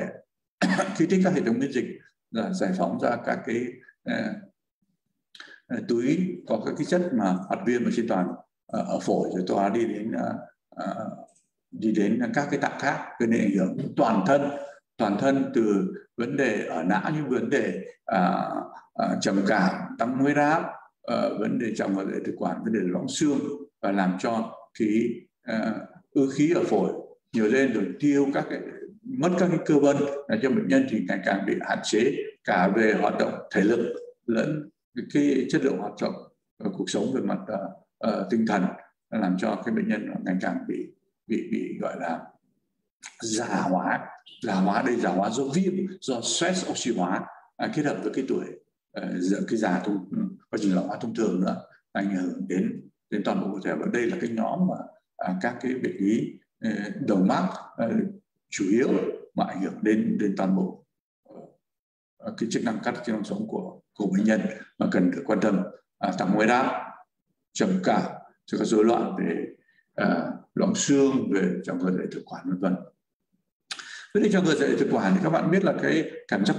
thông thường bệnh nhân sẽ có những cảm giác nóng, rát sau khi nước có thể có hơi ở chua, à, có thể có ho tăng lên sau khi ăn, khi nằm, khi có động tác cúi xuống à, như vậy thì mình gợi ý và nếu như các bạn trong bệnh nhân khám tam họng thì có thể thấy dấu hiệu gián tiếp à, của trào ngược uh, dày quản qua cái việc mà phù nề để sành sau họng có thể chỗ ảnh hưởng đến cả thanh quản nữa. Nhưng mà các nghiên cứu thấy là à, những cái dấu hiệu gián tiếp qua khám nội soi tai họng này thì nó phản ánh có thực sự là có trào ngược trong khoảng độ 40 phần trăm và khi ờ, ứng nhận bác sĩ lâm sàng thì sẽ điều trị điều trị dựa vào các hiệu lâm sàng gợi ý này. Và thông thường đều điều trị theo kinh nghiệm vì dùng thuốc của trên bụng của tổng Nexium và có những cái hướng dẫn à, từ mức liều thông thường là 20 mg trên ngày. Với bệnh nhân mà có nhiều triệu chứng hơn thì có thể tăng lên à, gấp đôi gấp đôi. À, nhưng mà nếu như sau khi điều trị triệu chứng à, theo kinh nghiệm rồi nó thất bại thì lúc này cần có chỉ định làm một thăm dò khác để mà khẳng định chẩn đoán và đánh giá cái mức độ tổn thương của thực quản. À, xem có tổn thương nhiều không mức độ thế nào. Và một số trường hợp còn loại trừ các yếu tố nguy cơ ví dụ như bệnh Barrett thực quản mức độ nặng thì có thể có nguy cơ uh, xuất hiện ung thư thực quản sau này. Thì trong số trường hợp mà nội soi để thực quản mà bình thường không thấy mình cũng không loại trừ được à, có tình trạng các cái gọi là micro à, những cái tròng ngược nhỏ ấy, thì cái này phải đo cái pH thực quản 24 giờ. À, thì sẽ phát hiện được lúc mà cái pH trong thực quản nó giảm xuống do tròng ngược gì bị axit trên thực quản. À, xin điểm lưu ý các bạn. Soi dạ dày thực quản bình thường cũng không loại trừ được hoàn toàn thì tròng ngược dạ dày thực quản. Với các cái nhóm bệnh lý tim mạch thì tăng huyết áp suy tim cho máu cơ tim là cũng là thường gặp và làm tăng cái tỷ lệ nhập viện tử vong cần được tầm soát và điều trị. Và nếu bệnh nhân có người suy tim thì ngoài việc mà hỏi bệnh à, vấn đề ngủ khi làm thế nào đầu gối cần bao nhiêu rồi à, cho à, có cái ăn ẩm gan ở đấy vừa không rồi mình à, chụp x quang tim phổi và đo cái nồng độ uh, à, à ProBNP à, trong máu à, để xác định cái cái cái suy tim. Và bệnh nhân mà càng à, cái lớn tuổi thì uh, siêu vi nặng mức độ rối loạn thông tin tăng nặng nặng hơn thì tỷ lệ mắc suy tim cao hơn và trong suy tim thì đã nghiên cứu thấy được mà uh, chạy beta chọn lọc ấy metro uh, popol uh, cho thấy là ờ, chọn lọc nhóm beta chọn lọc tim mạch này không có tác dụng phụ gì à, đáng kể nào trên cái chỉ số uh, thể tích thời gian tối đa gì đầu tiên à, chúng ta có thể tận dụng. trước kia thì cũng một số tác giả nêu vấn đề có thể thậm chí là trước khi định thấy là các cái nhóm, nhóm ức chế beta chọn lọc tim mạch ấy, thì không ảnh hưởng gì. Và với bệnh nhân mà tăng huyết áp thì cái việc mà dùng các thuốc giảm huyết quản à, à, nhóm carbonic hoặc là thích thích beta cơ dài hoặc là giảm huyết quản kép thì cũng được dùng làm tốt. Bệnh nhân có tăng huyết áp không ảnh hưởng gì cả. Và, và nhớ bệnh nhân CBD có tăng huyết áp thì nên bắt đầu điều trị bằng thuốc ức chế men chuyển và trợ thủ thể angiotensin 2 và trong cái nhóm này thì người ta nói là có dùng statin cũng có hiệu quả cả một phần lên cái cái giảm nguy cơ về mạch máu toàn thân cũng như một phần liên quan đến hệ động mạch phổi. Ở trong cái nhóm và bệnh nhân CVD tăng huyết áp thì bệnh nhân chống hộ suy tim thì, thì thuốc chặn beta uh, um, chọn lọc kia tim mạch ấy cũng sẽ có giúp được sẽ giúp có cái được khuyến cáo mà được dùng một cách an toàn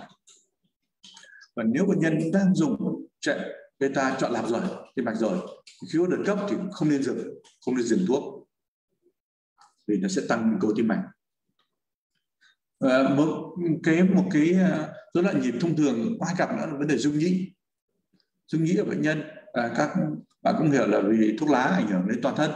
cho nó cả cả đến các cái mạch máu tim rồi các cái ổ nhịp tim. Và khi mà bệnh nhân có thì dạng thiếu oxy có tăng áp của mạch phổi thì cái nguy cơ dung nhĩ được càng càng tăng lên. Và khi dung nhĩ xuất hiện rồi thì cái chức năng co của nhĩ đêm nó mất là cái ảnh hưởng lớn đến chức năng của tim, làm cho tăng cơ nhập viện và tử vong. Thế thì ờ, đối với dung nhĩ thì các bạn biết là ờ, cái thuốc giãn phế quản nó, dạng kích thích beta 2 nó sẽ có tác dụng ảnh hưởng lên dung nhĩ. Nhưng mà nếu mà dùng với liều chuẩn thôi thì cũng an toàn không làm tăng cái nguy cơ đó. Nhưng mà tránh dùng các cái liều cao khi tiêm beta 2 và theophylline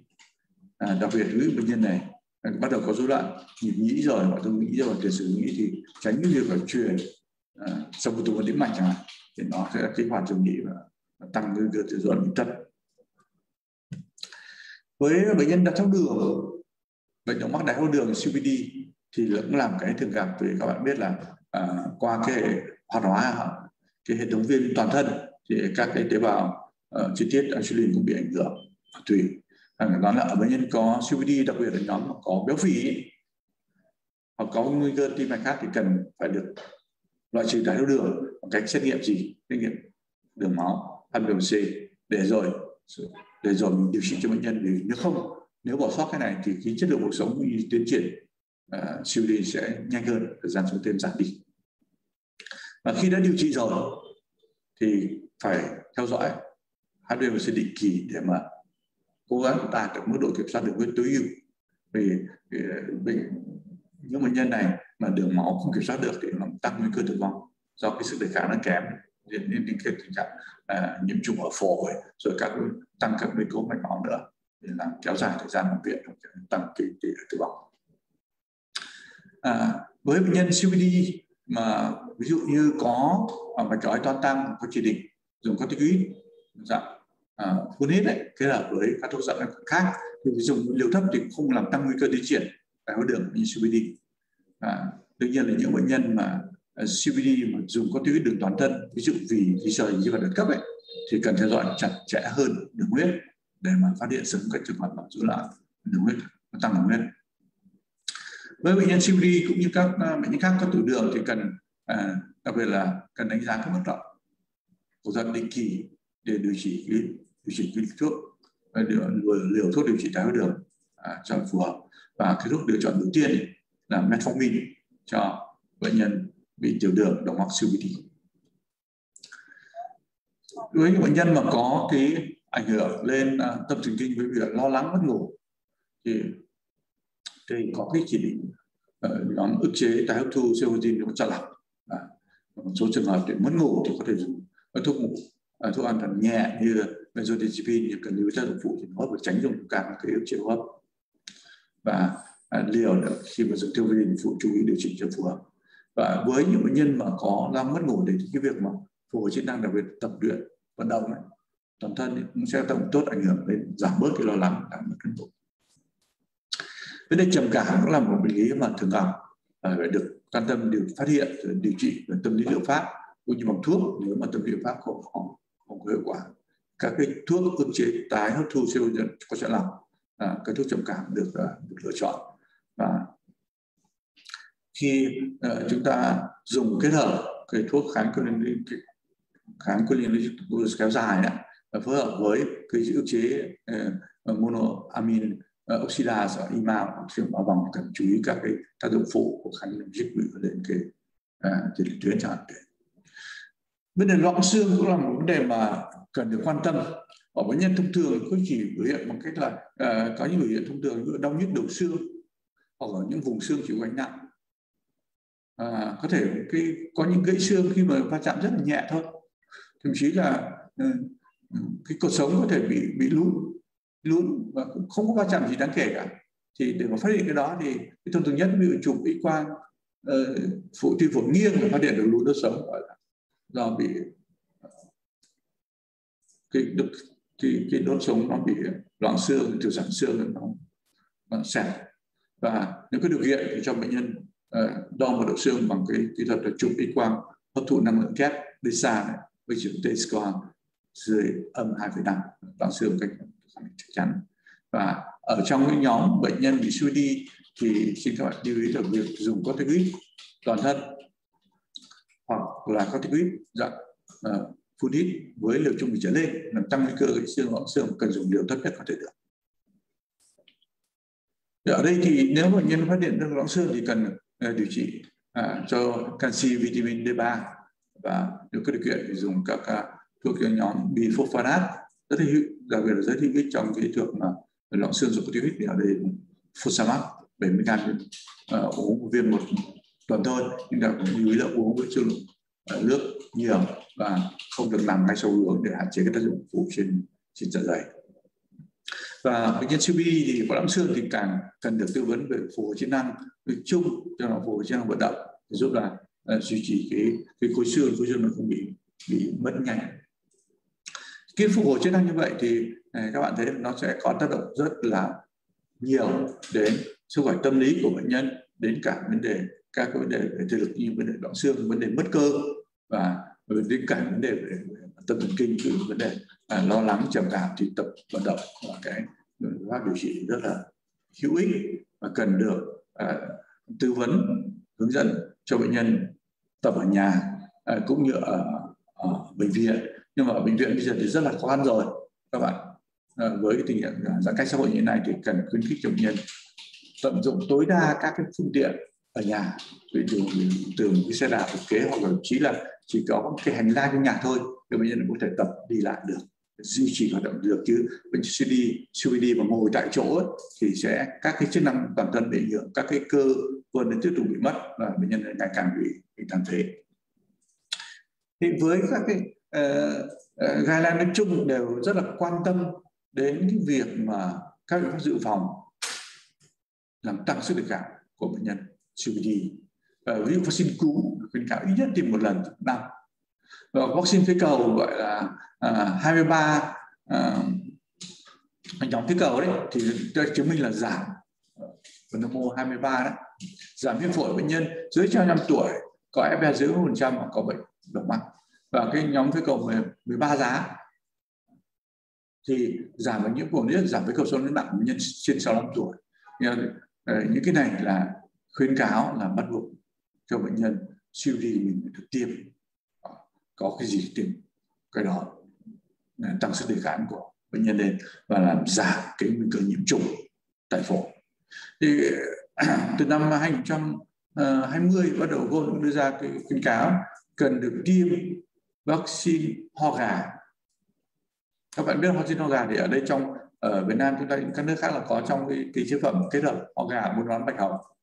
Người ta nói thì lý thuyết mà nói thì ở những người mà uh, chưa được tiêm lúc trẻ. Nhưng mà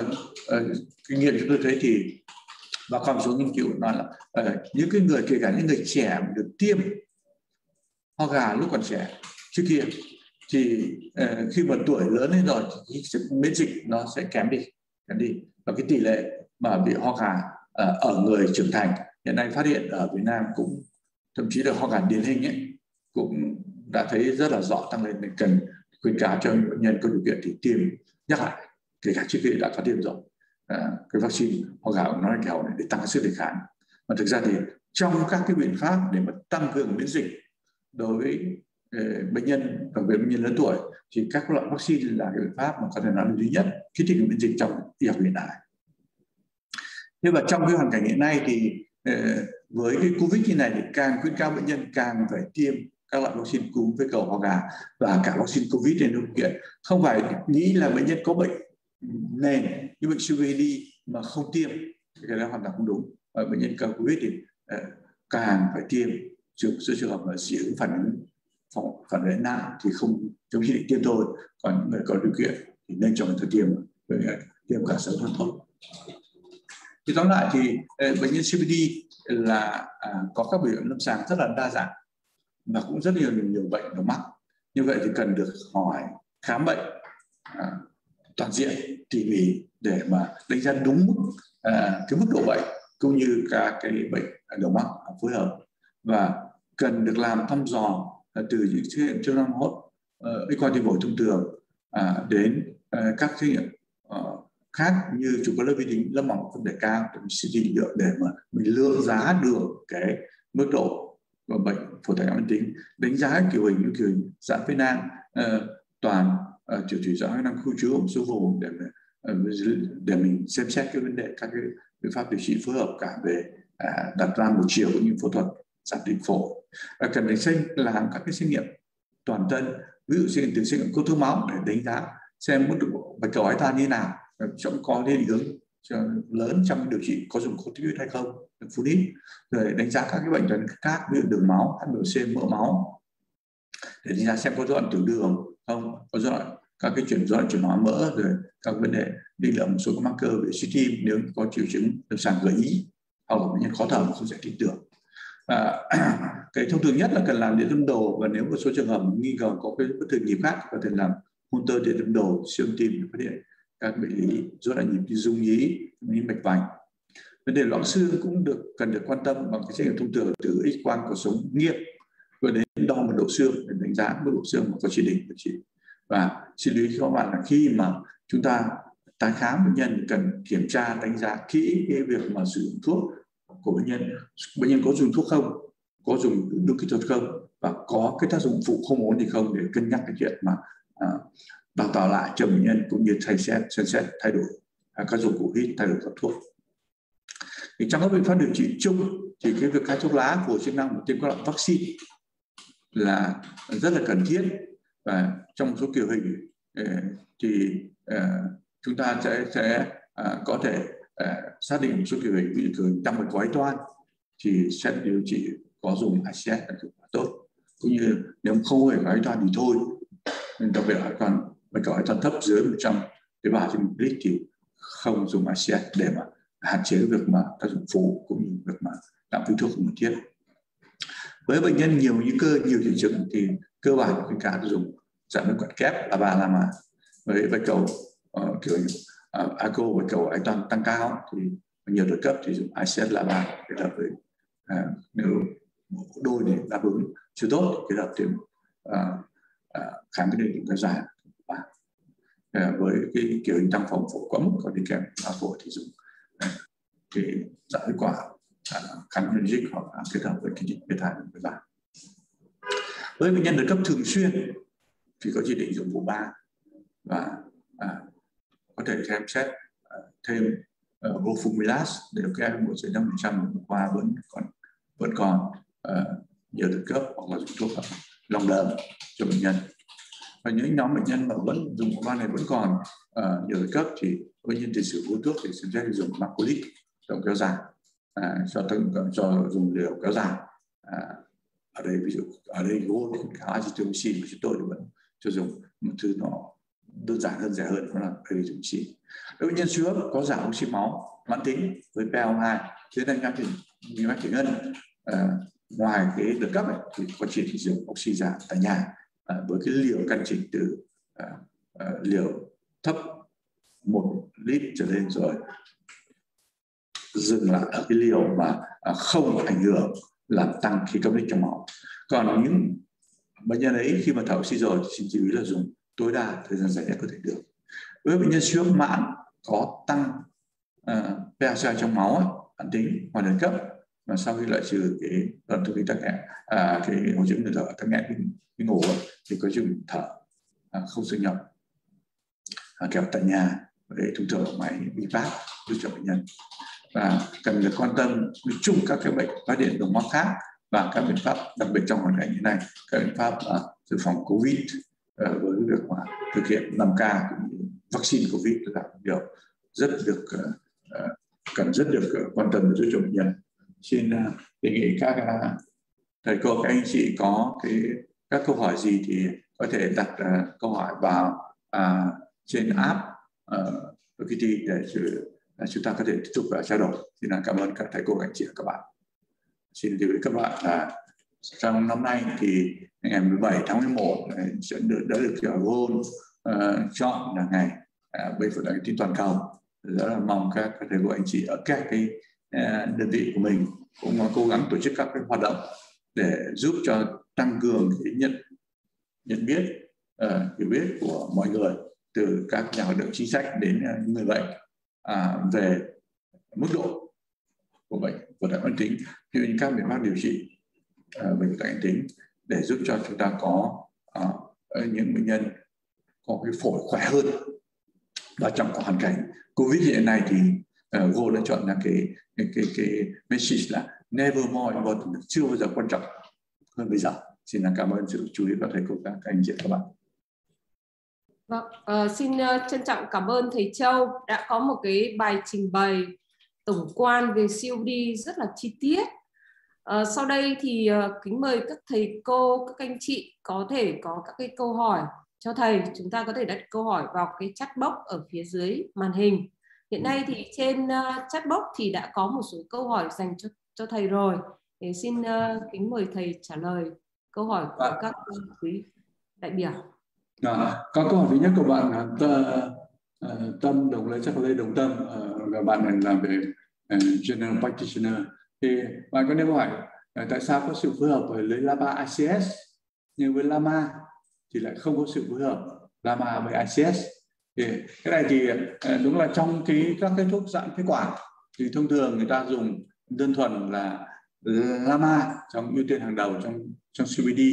và ờ, uh, LABA cộng với ICS thì có chỉ định khi bệnh nhân có vấn đề gì ví dụ như vấn đề trùng lớp uh, uh, hand CBD rồi vấn đề có bệnh nhân có bạch cầu ái toan nó nó cao. Thì nhưng người ta lại không phối hợp với lava và acid bởi vì ở đây chúng tôi nghĩ là trong cái cơ chế tác dụng ấy, nó có sự hiệp đồng tác dụng giữa cái uh, kích thích beta tác dụng kéo dài với ICS nên thì thông thường người ta sẽ dùng nếu phối hợp hai thứ thì chỉ có cái lava và ICS thôi chứ giữa uh, lama ví dụ như Spiva đấy à, thế thì nó không có cái cơ chế hợp đồng tác dụng với asset thì người ta sẽ không không dùng. Thì tiếp theo thì có vẫn là bạn à, à bác sĩ Tâm Đồng Lê cho nó nêu vấn đề là trong trường hợp bệnh nhân còn đợt cấp có chỉ định azithromycin thì sẽ dùng trong bao lâu ạ? Và có thể à, thay thế được uh, khác không? Thì vâng xin À, cảm ơn bạn đã nêu cái câu hỏi này. Thực ra thì uh, đây cái gold đưa ra khuyến cáo dùng azithromycin dựa trên cái nghiên cứu đăng từ năm 2011 đó là dùng kéo dài trong một năm. Nhưng mà ngay cả cái dùng trong một năm như vậy thì cũng có hai trường hợp là bị tác dụng phụ là điếc tại vì nó có tác động trên hệ thống à, thần kinh à, về à, à, thính lực. Nên à, chúng tôi cũng rất là ngại dùng cái này. Thực ra trong quá trình trình bày chúng tôi đã nói thì uh, chúng tôi dùng erythromycin kéo dài. Erythromycin thì uh, được uh, các bạn biết là một thứ kháng sinh như hiện nay thì hầu như không, không ai dùng với tác dụng với mục đích kháng sinh cả. Nhưng lại nó trong nhóm macrolide nó có tác động lên cái động học của đờm mà một phần gọi là điều biến miễn dịch. Và cái này thì được các tác giả người Nhật ấy, dùng những năm Ờ, trước cái năm 2000 rất là nhiều ờ, để giải quyết cái ờ, tình trạng mà viêm toàn bộ tiểu phế quản lan tỏa dẫn đến giãn phế quản và dùng, họ dùng và rất hiệu quả đến mức độ là sau này, sau khi họ dùng một cách phổ biến như vậy thì ở Nhật cái bệnh nhân giãn phế quản ít hẳn đi. Có chúng tôi dùng thì thấy bệnh nhân ờ, có bệnh nhân mà giãn phế quản và sau này thấy bệnh nhân suy vi còn nhiều triệu chứng còn nhiều cấp thì cũng có cũng cũng được mà lại không có tác dụng phụ gì đáng kể. Và cũng không có cái cái nguy cơ mà làm làm xuất hiện lan tràn các cái việc kháng thuốc với azithromycin các bạn biết azithromycin hiện nay vẫn là một thứ kháng sinh được dùng chỉ định. À, các bệnh nhiễm khuẩn ở cộng đồng à, có câu hỏi thứ ba của bạn bác sĩ Tâm Thanh Nguyễn Tâm Thanh à, bệnh nhân sau đợt cấp có dùng thêm Bambex và Teostar thì nên dùng tối đa bao lâu? Có cần đánh giá số dùng tiêu vinin không? Thì cái này thì cũng phải nói rất thật với các bạn là ở những nước như châu Âu và Mỹ khi người ta có các thuốc giãn phế quản đường phunit rồi thì người ta sẽ không dùng đường uống. Cái bom bếch là không dùng. Teostar rất hạn hữu vừa rồi trong cái khuyến cáo mới nhất của hội hốp Tây Ban Nha đấy, là tôi cũng đã có cái chiếu trong quá trình trình bày đó thì họ cứ dùng là nêu rất rõ là cái thuốc siêu là thuốc phun hít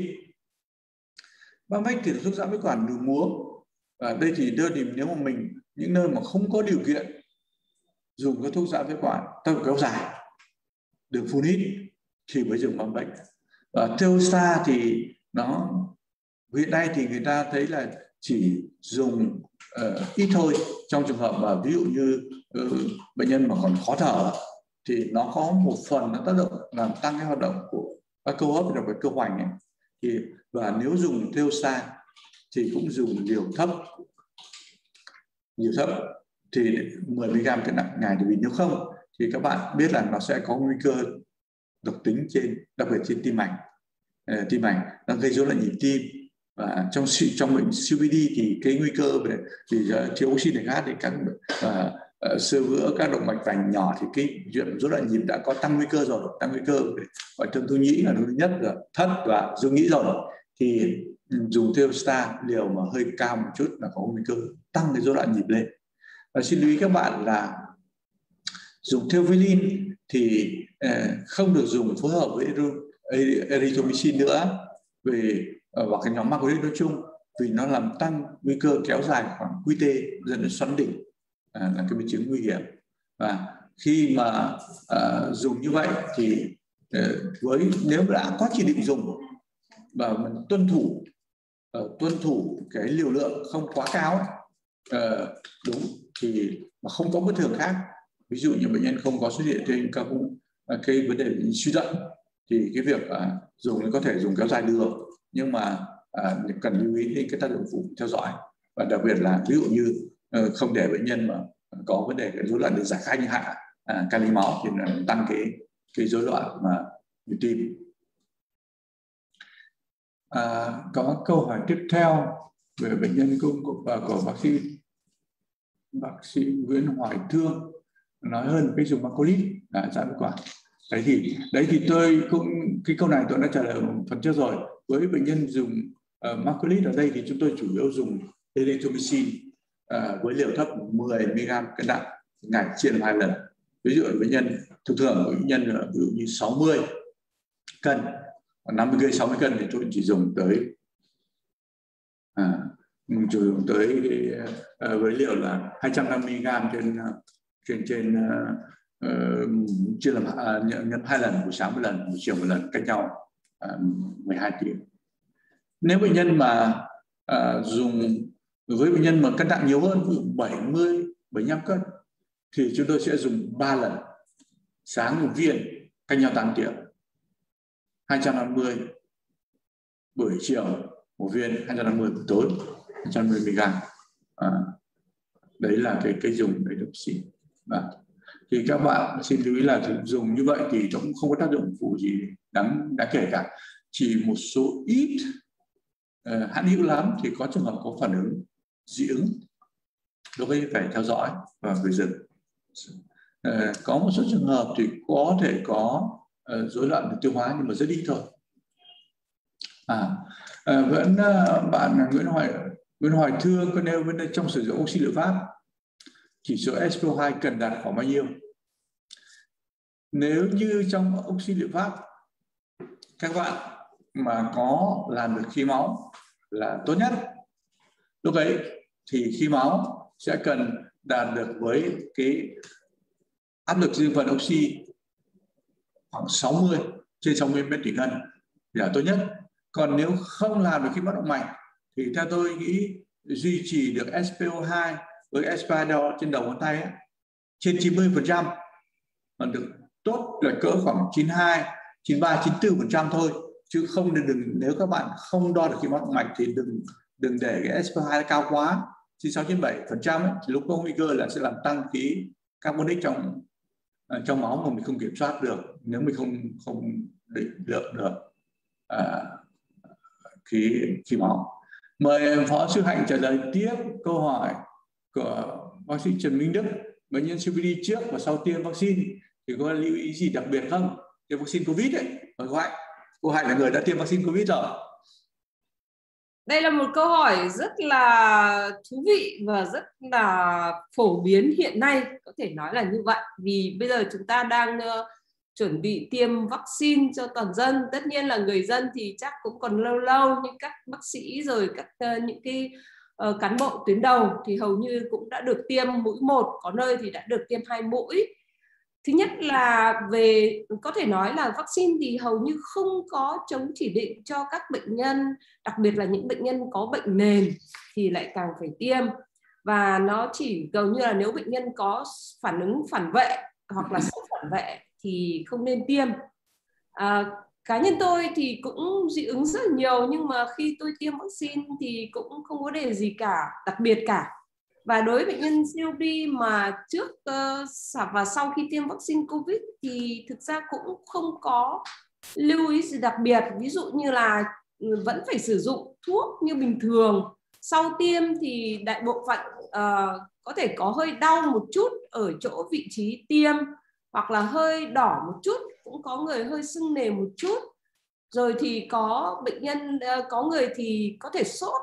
Uh, những người trẻ thì thường sốt là cao có người sốt đến 39 độ. Nhưng mà uh, số đó thì cũng ít thôi. Còn những người mà cao tuổi thì hầu như là cũng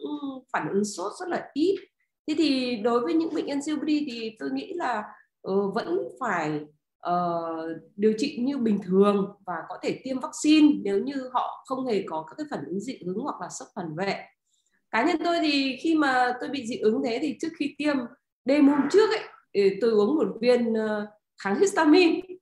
Thế ờ, mỗi một lần tiêm mà tôi đều uống như thế. Thì không biết là thường thì nó cũng có hiệu quả đấy là ít nhất là nó cũng giảm được cái gọi là đôi khi mình lo lắng quá nghĩa là ừ, cái cái trạng thái ờ, tinh thần của mình nó nó không bị lo lắng quá thì cũng cũng tốt ạ không có vấn đề gì đâu. Cho nên là mình có thể khuyên các bệnh nhân của mình đi tiêm nếu họ uh, được được tiêm ạ. Vâng cảm ơn cô hạnh. Tôi tôi nghĩ là cái nguy cơ lớn nhất đấy là phản vệ. Phản vệ thì thực ra thì phản vệ mà những người mà dị ứng rồi thì đúng có nguy cơ tăng lên. Nhưng mà nếu các bạn mà chuẩn bị sẵn sàng cái xử trí phản vệ ấy, ví dụ như kinh nghiệm ở bệnh viện Tâm Anh thì cho hẳn một bác sĩ về cấp cứu sang túc trực ở chỗ tiêm ờ, covid ấy. thế là nếu mà có bất cứ phản cái gì dấu hiệu gì phản vệ sớm xử lý luôn nửa ống adrenaline thì bệnh nhân đều ổn cả. Đấy, xin à, lưu ý các bạn như vậy là mình rất là sẵn sàng và và xử trí kịp thời. Chứ phản vệ mà xử trí muộn thì sẽ rất là phiền phức. À, cái đấy là cái nguy cơ lớn nhất thôi chứ còn những khác thì cũng không có có nhiều lắm mời cô phó giáo hạnh à, trả lời tiếp các câu hỏi khác có câu bạn... hỏi tiếp theo của bạn uh, Bùi Thị Tuyền thì uh, về kinh nghiệm bệnh nhân COPD đợt cấp có tăng CO2 mạng tính dù đã được thở máy không xâm nhập tại nhà rồi ạ. PA CO2 lúc nào cũng dao động từ 5 năm đến 65 ạ. Thì thực ra là đối với những cái bệnh nhân mà có tăng CO2 mạng tính mà đã được thở máy rồi khi bệnh nhân à, vào đợt cấp thì đương nhiên là bệnh nhân vẫn tiếp tục được thở máy không xâm nhập và tối ưu hóa các cái điều trị cho đợt cấp. Ví dụ như là các thuốc giãn phế quản là hầu hết là các phải là các thuốc giãn phế quản tác dụng nhanh dạng phun xịt thít uh, khí dung. Và đối với những cái bệnh nhân mà có các cái biểu hiện của nhiễm trùng thì uh, có thể cho thêm kháng sinh nếu là đợt ngấp do nhiễm trùng còn lại thì phải tìm các cái căn nguyên khác của đợt cấp, ví dụ như có tràn khí màng phổi hay không, hay là có cơn suy tim cấp hay không, hay là có các cái bệnh lý đồng mắc mà chưa được phát hiện, chưa được điều trị và nó trội lên. Rồi thì nó ừ, dẫn đến là cái đợt cấp thì chúng ta cũng phải tìm kiếm. Giống như lúc nãy thầy Châu đã trình bày rất là kỹ về vấn đề này để điều trị cho người bệnh. Còn nếu mà ừ, tất cả những vấn đề đó chúng ta đã tìm rồi và ừ, cái vấn đề mà nếu như à, chúng ta thở máy không xâm nhập ừ, có vẻ không hiệu quả thì cũng phải kiểm tra lại xem là cái áp lực mức độ áp lực của máy thở đã phù hợp với người bệnh chưa có cần phải điều chỉnh áp lực không? Có những bệnh nhân thì cần điều chỉnh tăng lên có những bệnh nhân thì có thể phải điều chỉnh à, giảm xuống. Thì cái đấy là nó sẽ phụ thuộc vào à, từng bệnh nhân cụ thể. À, đối với bệnh nhân này thì có lẽ là có thể sẽ phải điều chỉnh à, tăng lên à, tiếp nữa là khi mà các anh chị đã trong đợt cấp ý, thì cũng nếu bệnh nhân này đối với bệnh nhân này thì cái việc mà họ sử dụng các thuốc giãn phế quản tác dụng kéo dài thì nên tiếp tục uh, cho họ dùng. Uh, còn nếu mà trong trường hợp mà ví dụ trong cái tác dụng uh, thuốc giãn phế quản tác dụng kéo dài là có lama thì mình sẽ sử dụng Saba để khí dung cho người bệnh. Không không nên sử dụng Saba và Sama phối hợp để khí dung cho người bệnh còn những người bệnh nào mà chưa bao giờ sử dụng thuốc giãn phế quản kéo dài trong cái điều trị của họ thì cũng nên khởi động sớm để sử dụng cho người bệnh. Để khi mà họ ra viện thì họ đã có thể là quen với cả cái việc sử dụng các cái dụng cụ uh, phun xịt hít đó rồi. Vâng ạ à, cảm ơn cô hạnh tôi cũng uh, xin bổ sung một tí liên quan đến vấn đề mà thở máy không xâm nhập của bệnh nhân COPD thì uh, các bạn phải để ý đến các cái ví dụ dùng máy BiPAP thì cái ipap cái áp lực thở vào các bạn để bao nhiêu? Thì bạn Bùi Tuyền có thể cho biết là à, bạn bệnh nhân ấy được à, đặt mấy mức lực à, ipap IPAP là bao nhiêu? Và cái CPAP áp lực thở ra là bao nhiêu? Vì à, theo kinh nghiệm của tôi mà chúng cũng trực tiếp dùng cho bệnh nhân mà đặc biệt là dùng cho người thân trong gia đình ấy, thì có những lực cấp ấy là bệnh nhân có thể nó cái co thắt phế quản nó nhiều hơn chỉ vì tăng lên với máy BiPAP mà tôi đã lúc có phải dùng cho áp lực tới 24 cm nước. À, gần đến mức tối đa. Nhưng mà đó đấy có thể còn tăng lên nữa. Nhưng mà các bạn phải lưu ý là nếu mà mình cho thở máy thở máy xâm nhập hay không xâm nhập vậy thôi. Tức là mình đặt một cái cái cái thông số ban đầu. Rồi mình theo dõi đáp ứng. Theo dõi đáp ứng nếu mà đáp ứng không tốt sau vài vài tiếng nó không tốt thì mình tiếp tục tăng lên. Ờ, tăng lên thì cũng đừng có ngại rón rén quá. Tăng lên được mỗi lần tăng ít nhất phải độ 2 cm nước. Độ từ 12 lên 14 mà, mà không, không phải là để mấy ngày sau mới mới tăng tiếp. 12 đến 14 cm nước mà nếu mà hai ba tiếng sau mà nó không ổn. Và tiếng sau không ổn thì tăng lên 16 18 thậm chí 20 mình tăng dần lên thì không có sợ không sợ thì gì cả. Thứ hai là đối với các máy thở thông thường thì các bạn cũng phải quan tâm đến cái việc là uh, cái vệ sinh máy. Ờ, có những máy thở khi bệnh nhân đem đến tôi thì bẩn khủng khiếp. Cái filter filter bên ngoài ấy, lọc bụi nó nó nó, nó kẹt lại toàn như toàn uh, toàn bụi đất bám đầy hàng năm không được vệ sinh. Thì những máy đấy nó cũng không còn cái hiệu quả về khí nó không có hít được vào. Đủ đâu. Thì xin các bạn lưu ý như vậy. Rồi đến cái hệ thống cái dây dây dẫn mask thì các bạn cũng hết sức lưu ý vì mask nếu mà người ta cứ dùng mãi một cái mask nó cũng bẩn rồi thậm chí có cái nó rách nó hở. Hay như mình tăng áp lực nhưng mà nó cũng không tới được cái đầy đủ áp lực đấy tới tới cái bệnh. Thì đàn ờ, nhân với của hạnh là kết hợp với bệnh nhân đấy là phải điều trị nội khoa tối ưu rồi điều chỉnh cái áp lực máy thở một cách sát sao. Cho mình bám sát như vậy thì sẽ sẽ giảm được à, cái pH CO2 xuống. Mục tiêu của thở máy không nhập tại nhà của bệnh nhân à, có tăng là phải giảm được pH CO2 xuống và mời các bạn tiếp tục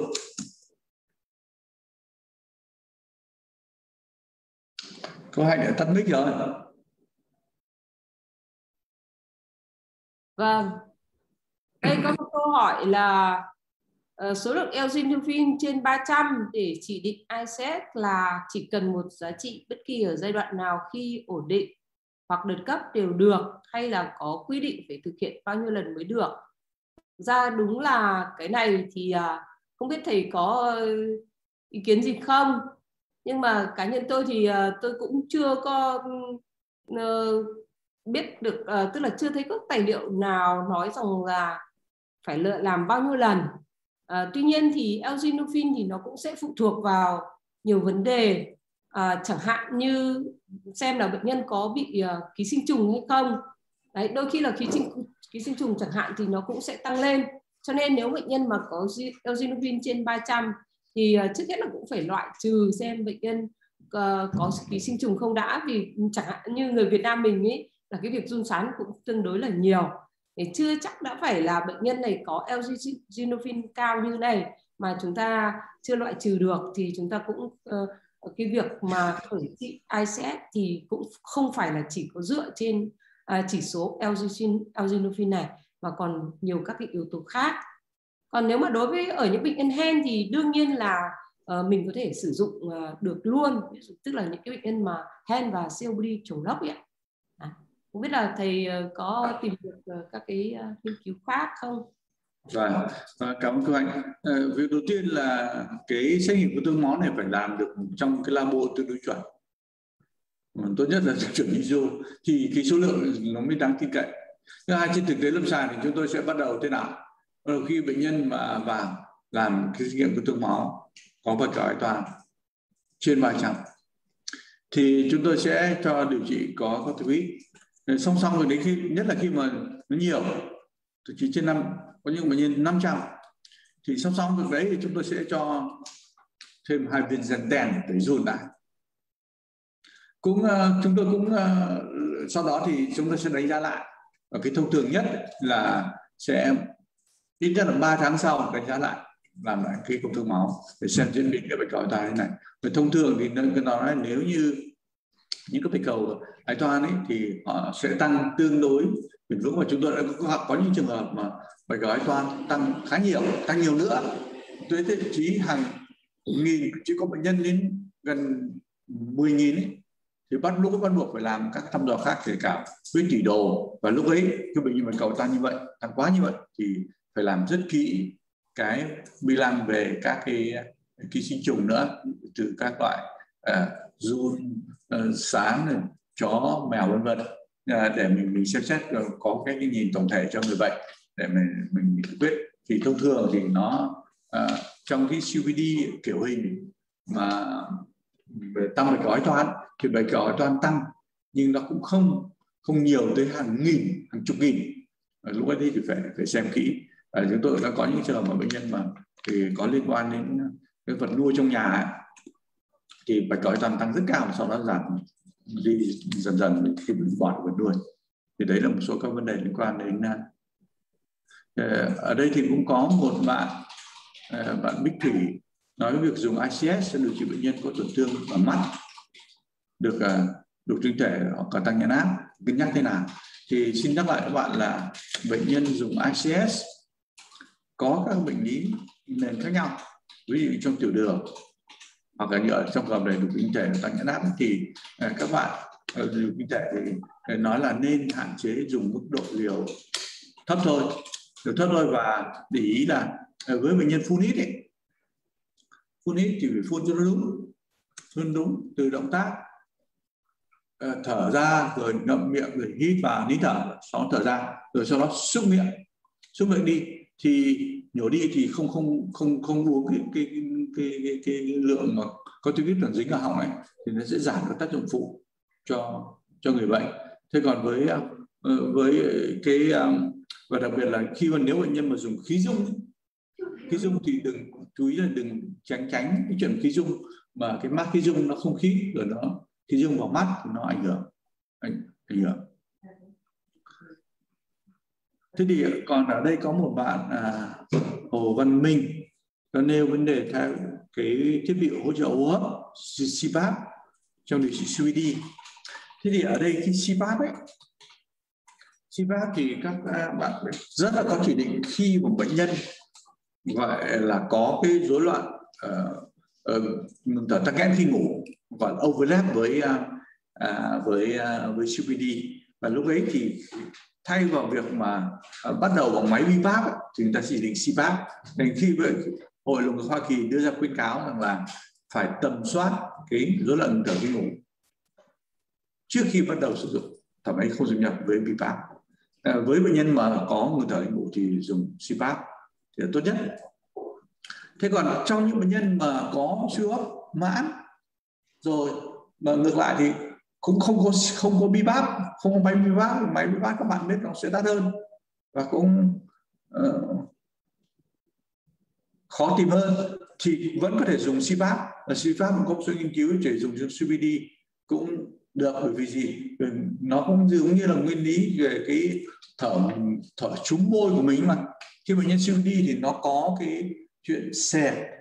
cái đường thở đặc biệt là đường thở nhỏ trong cái gì thở ra. Thế thì mình giữ cái áp lực CPAP mức uh, thấp thôi thì nó làm giảm cái xẹp đường thở diễn ra vì thế nên nó giảm tình trạng ứ khí của phổi. Ừ, như vậy sẽ giúp cho bệnh nhân thải bớt được khí ra không không có ứ khí trong phổi nữa. Và xin lưu các bạn trong nếu dùng CPAP trong CD thì cái cái mức mức độ uh, áp lực ấy không nên để cao quá. À, có một bạn uh, uh, bạn Hoàng Tuấn Linh thì phải. Thì bạn nêu vấn đề là CBD khi nào thì đo trên hô hấp thì cũng có tài liệu ghi là khi bệnh nhân ổn định đợt cấp đo trên hô hấp xuất viện. Có người là ghi được sau điều trị đợt cấp ổn định xuất viện 4 tuần đo trên hô hấp thế thì ở đây thế này nếu mà nó có mấy tình huống một là bệnh nhân đến với mình đến phòng khám thì việc đầu tiên là đo luôn chức năng hô hấp luôn để giúp khẳng định chẩn đoán. Đấy là cái và sau đó thì mình sẽ theo dõi trong quá trình uh,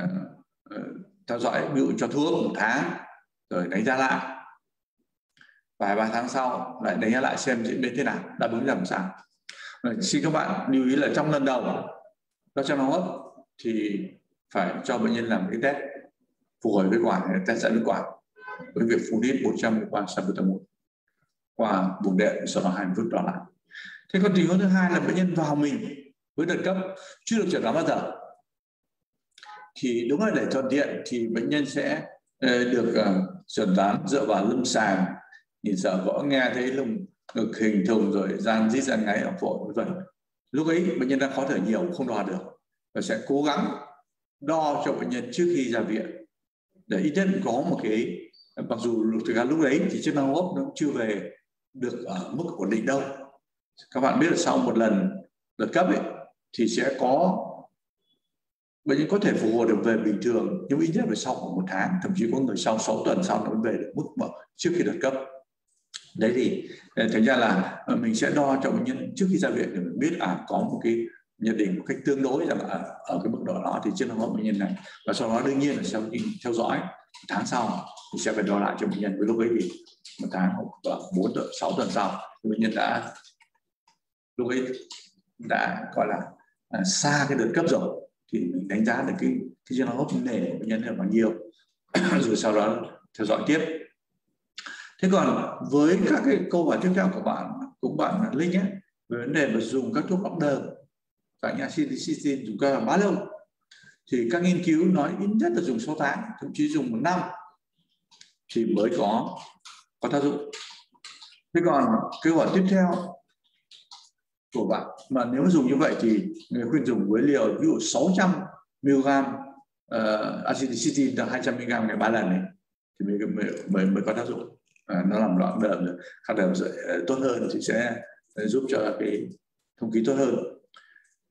Còn những bệnh ờ, bạn có nêu những bệnh nhân nhập viện liên tục thì thời gian nào tiêm vaccine tốt nhất ạ? Nếu việc viện như thế liên tục thì việc đầu tiên ý, là phải xem lại xem thuốc men bệnh nhân thế nào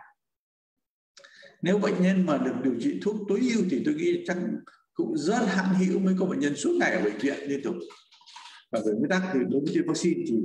các bạn bên vaccine sẽ cố gắng tiêm cho bệnh nhân khi bệnh nhân không bị sốt không có nhiễm trùng đang nhiễm trùng.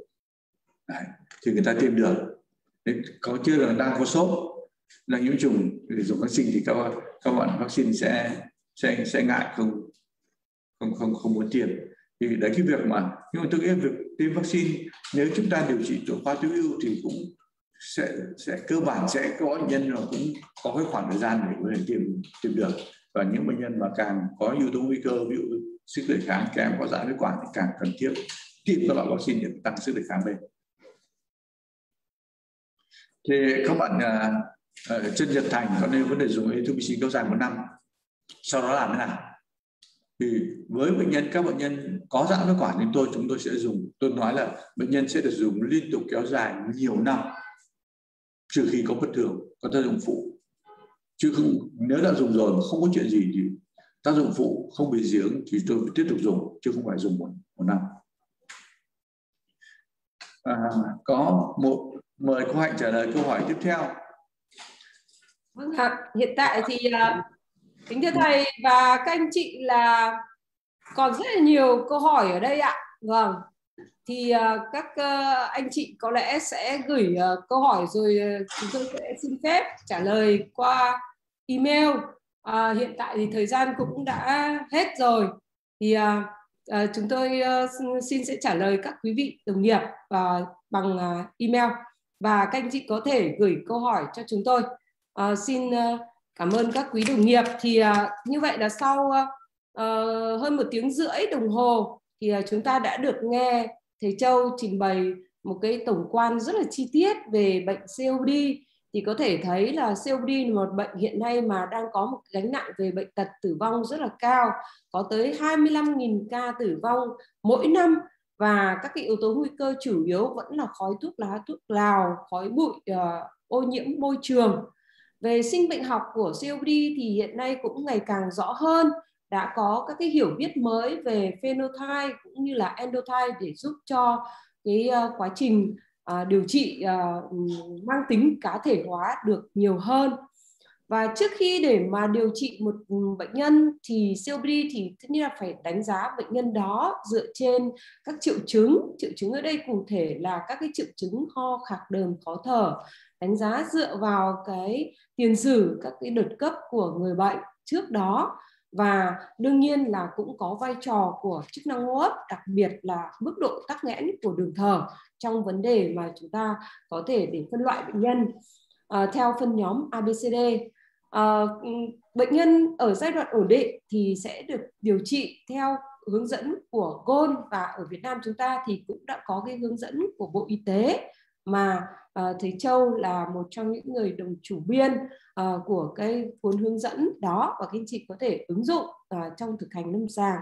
Uh, tuy nhiên là uh, cái hướng dẫn của uh, GOL hay là của Bộ Y tế thì nó sẽ chung cho một quần thể, còn mỗi một người bệnh sẽ có những đặc điểm riêng của họ và khi điều trị thì chúng ta cũng không quên là kiểm tra các cái yếu tố liên quan đặc biệt là các cái yếu tố về tuân thủ điều trị về cách sử dụng các cái dụng cụ phun xịt hít xem người bệnh sử dụng có đúng không. À, đấy là một điểm hết sức là quan trọng. Rồi người bệnh có phù hợp với cái dụng cụ đó hay không. Ví dụ như chẳng hạn như như lúc nãy thầy châu có nói là chẳng hạn có nhiều người bệnh hút thuốc à, à, người bệnh hít thuốc thì lại bị ho chẳng hạn. Vậy thì có thể là những cái thuốc đó hay là những cái dụng cụ đó không phù hợp với họ thì chúng ta lại sẽ phải lựa chọn cho nó phù hợp hay những cái người bệnh mà cái việc phối hợp các cái động tác trong quá trình phun xịt hít kém thì phải sử dụng thêm các cái phụ kiện kèm theo chẳng hạn như là các cái ờ, uh, buồng đệm để giúp cho người bệnh được uh, sử dụng thuốc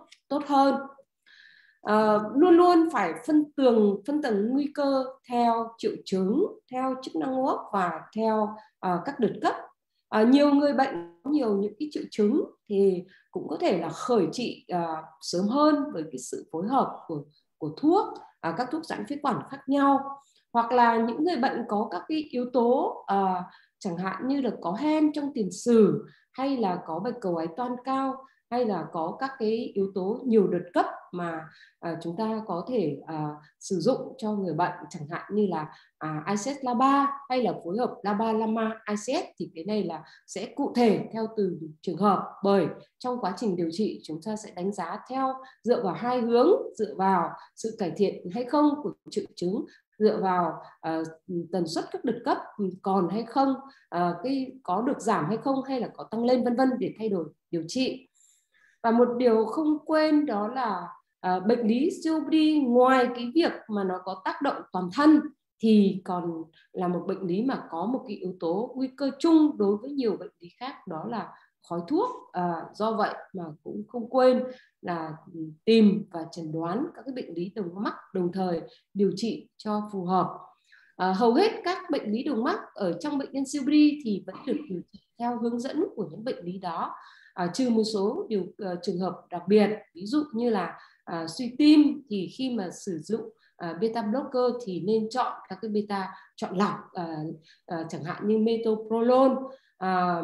và đối với những cái bệnh nhân mà có ho nhiều thì cái việc mà tăng huyết áp sử dụng các loại à, thuốc ức chế men chuyển thì cũng nên hạn chế hoặc là tránh để có thể là uh, dễ bị uh, nhầm lẫn về mặt triệu chứng hay là triệu chứng không không cải thiện được à, ngoài ra thì cái việc điều trị cũng ờ, mang tính tổng thể bao gồm có phục hồi chức năng hô hấp điều trị về dinh dưỡng về tâm lý về các cái ờ, điều trị khác à, như là phục hồi chức năng hô hấp cũng rất là quan trọng rồi tiêm vaccine à, cho người bệnh.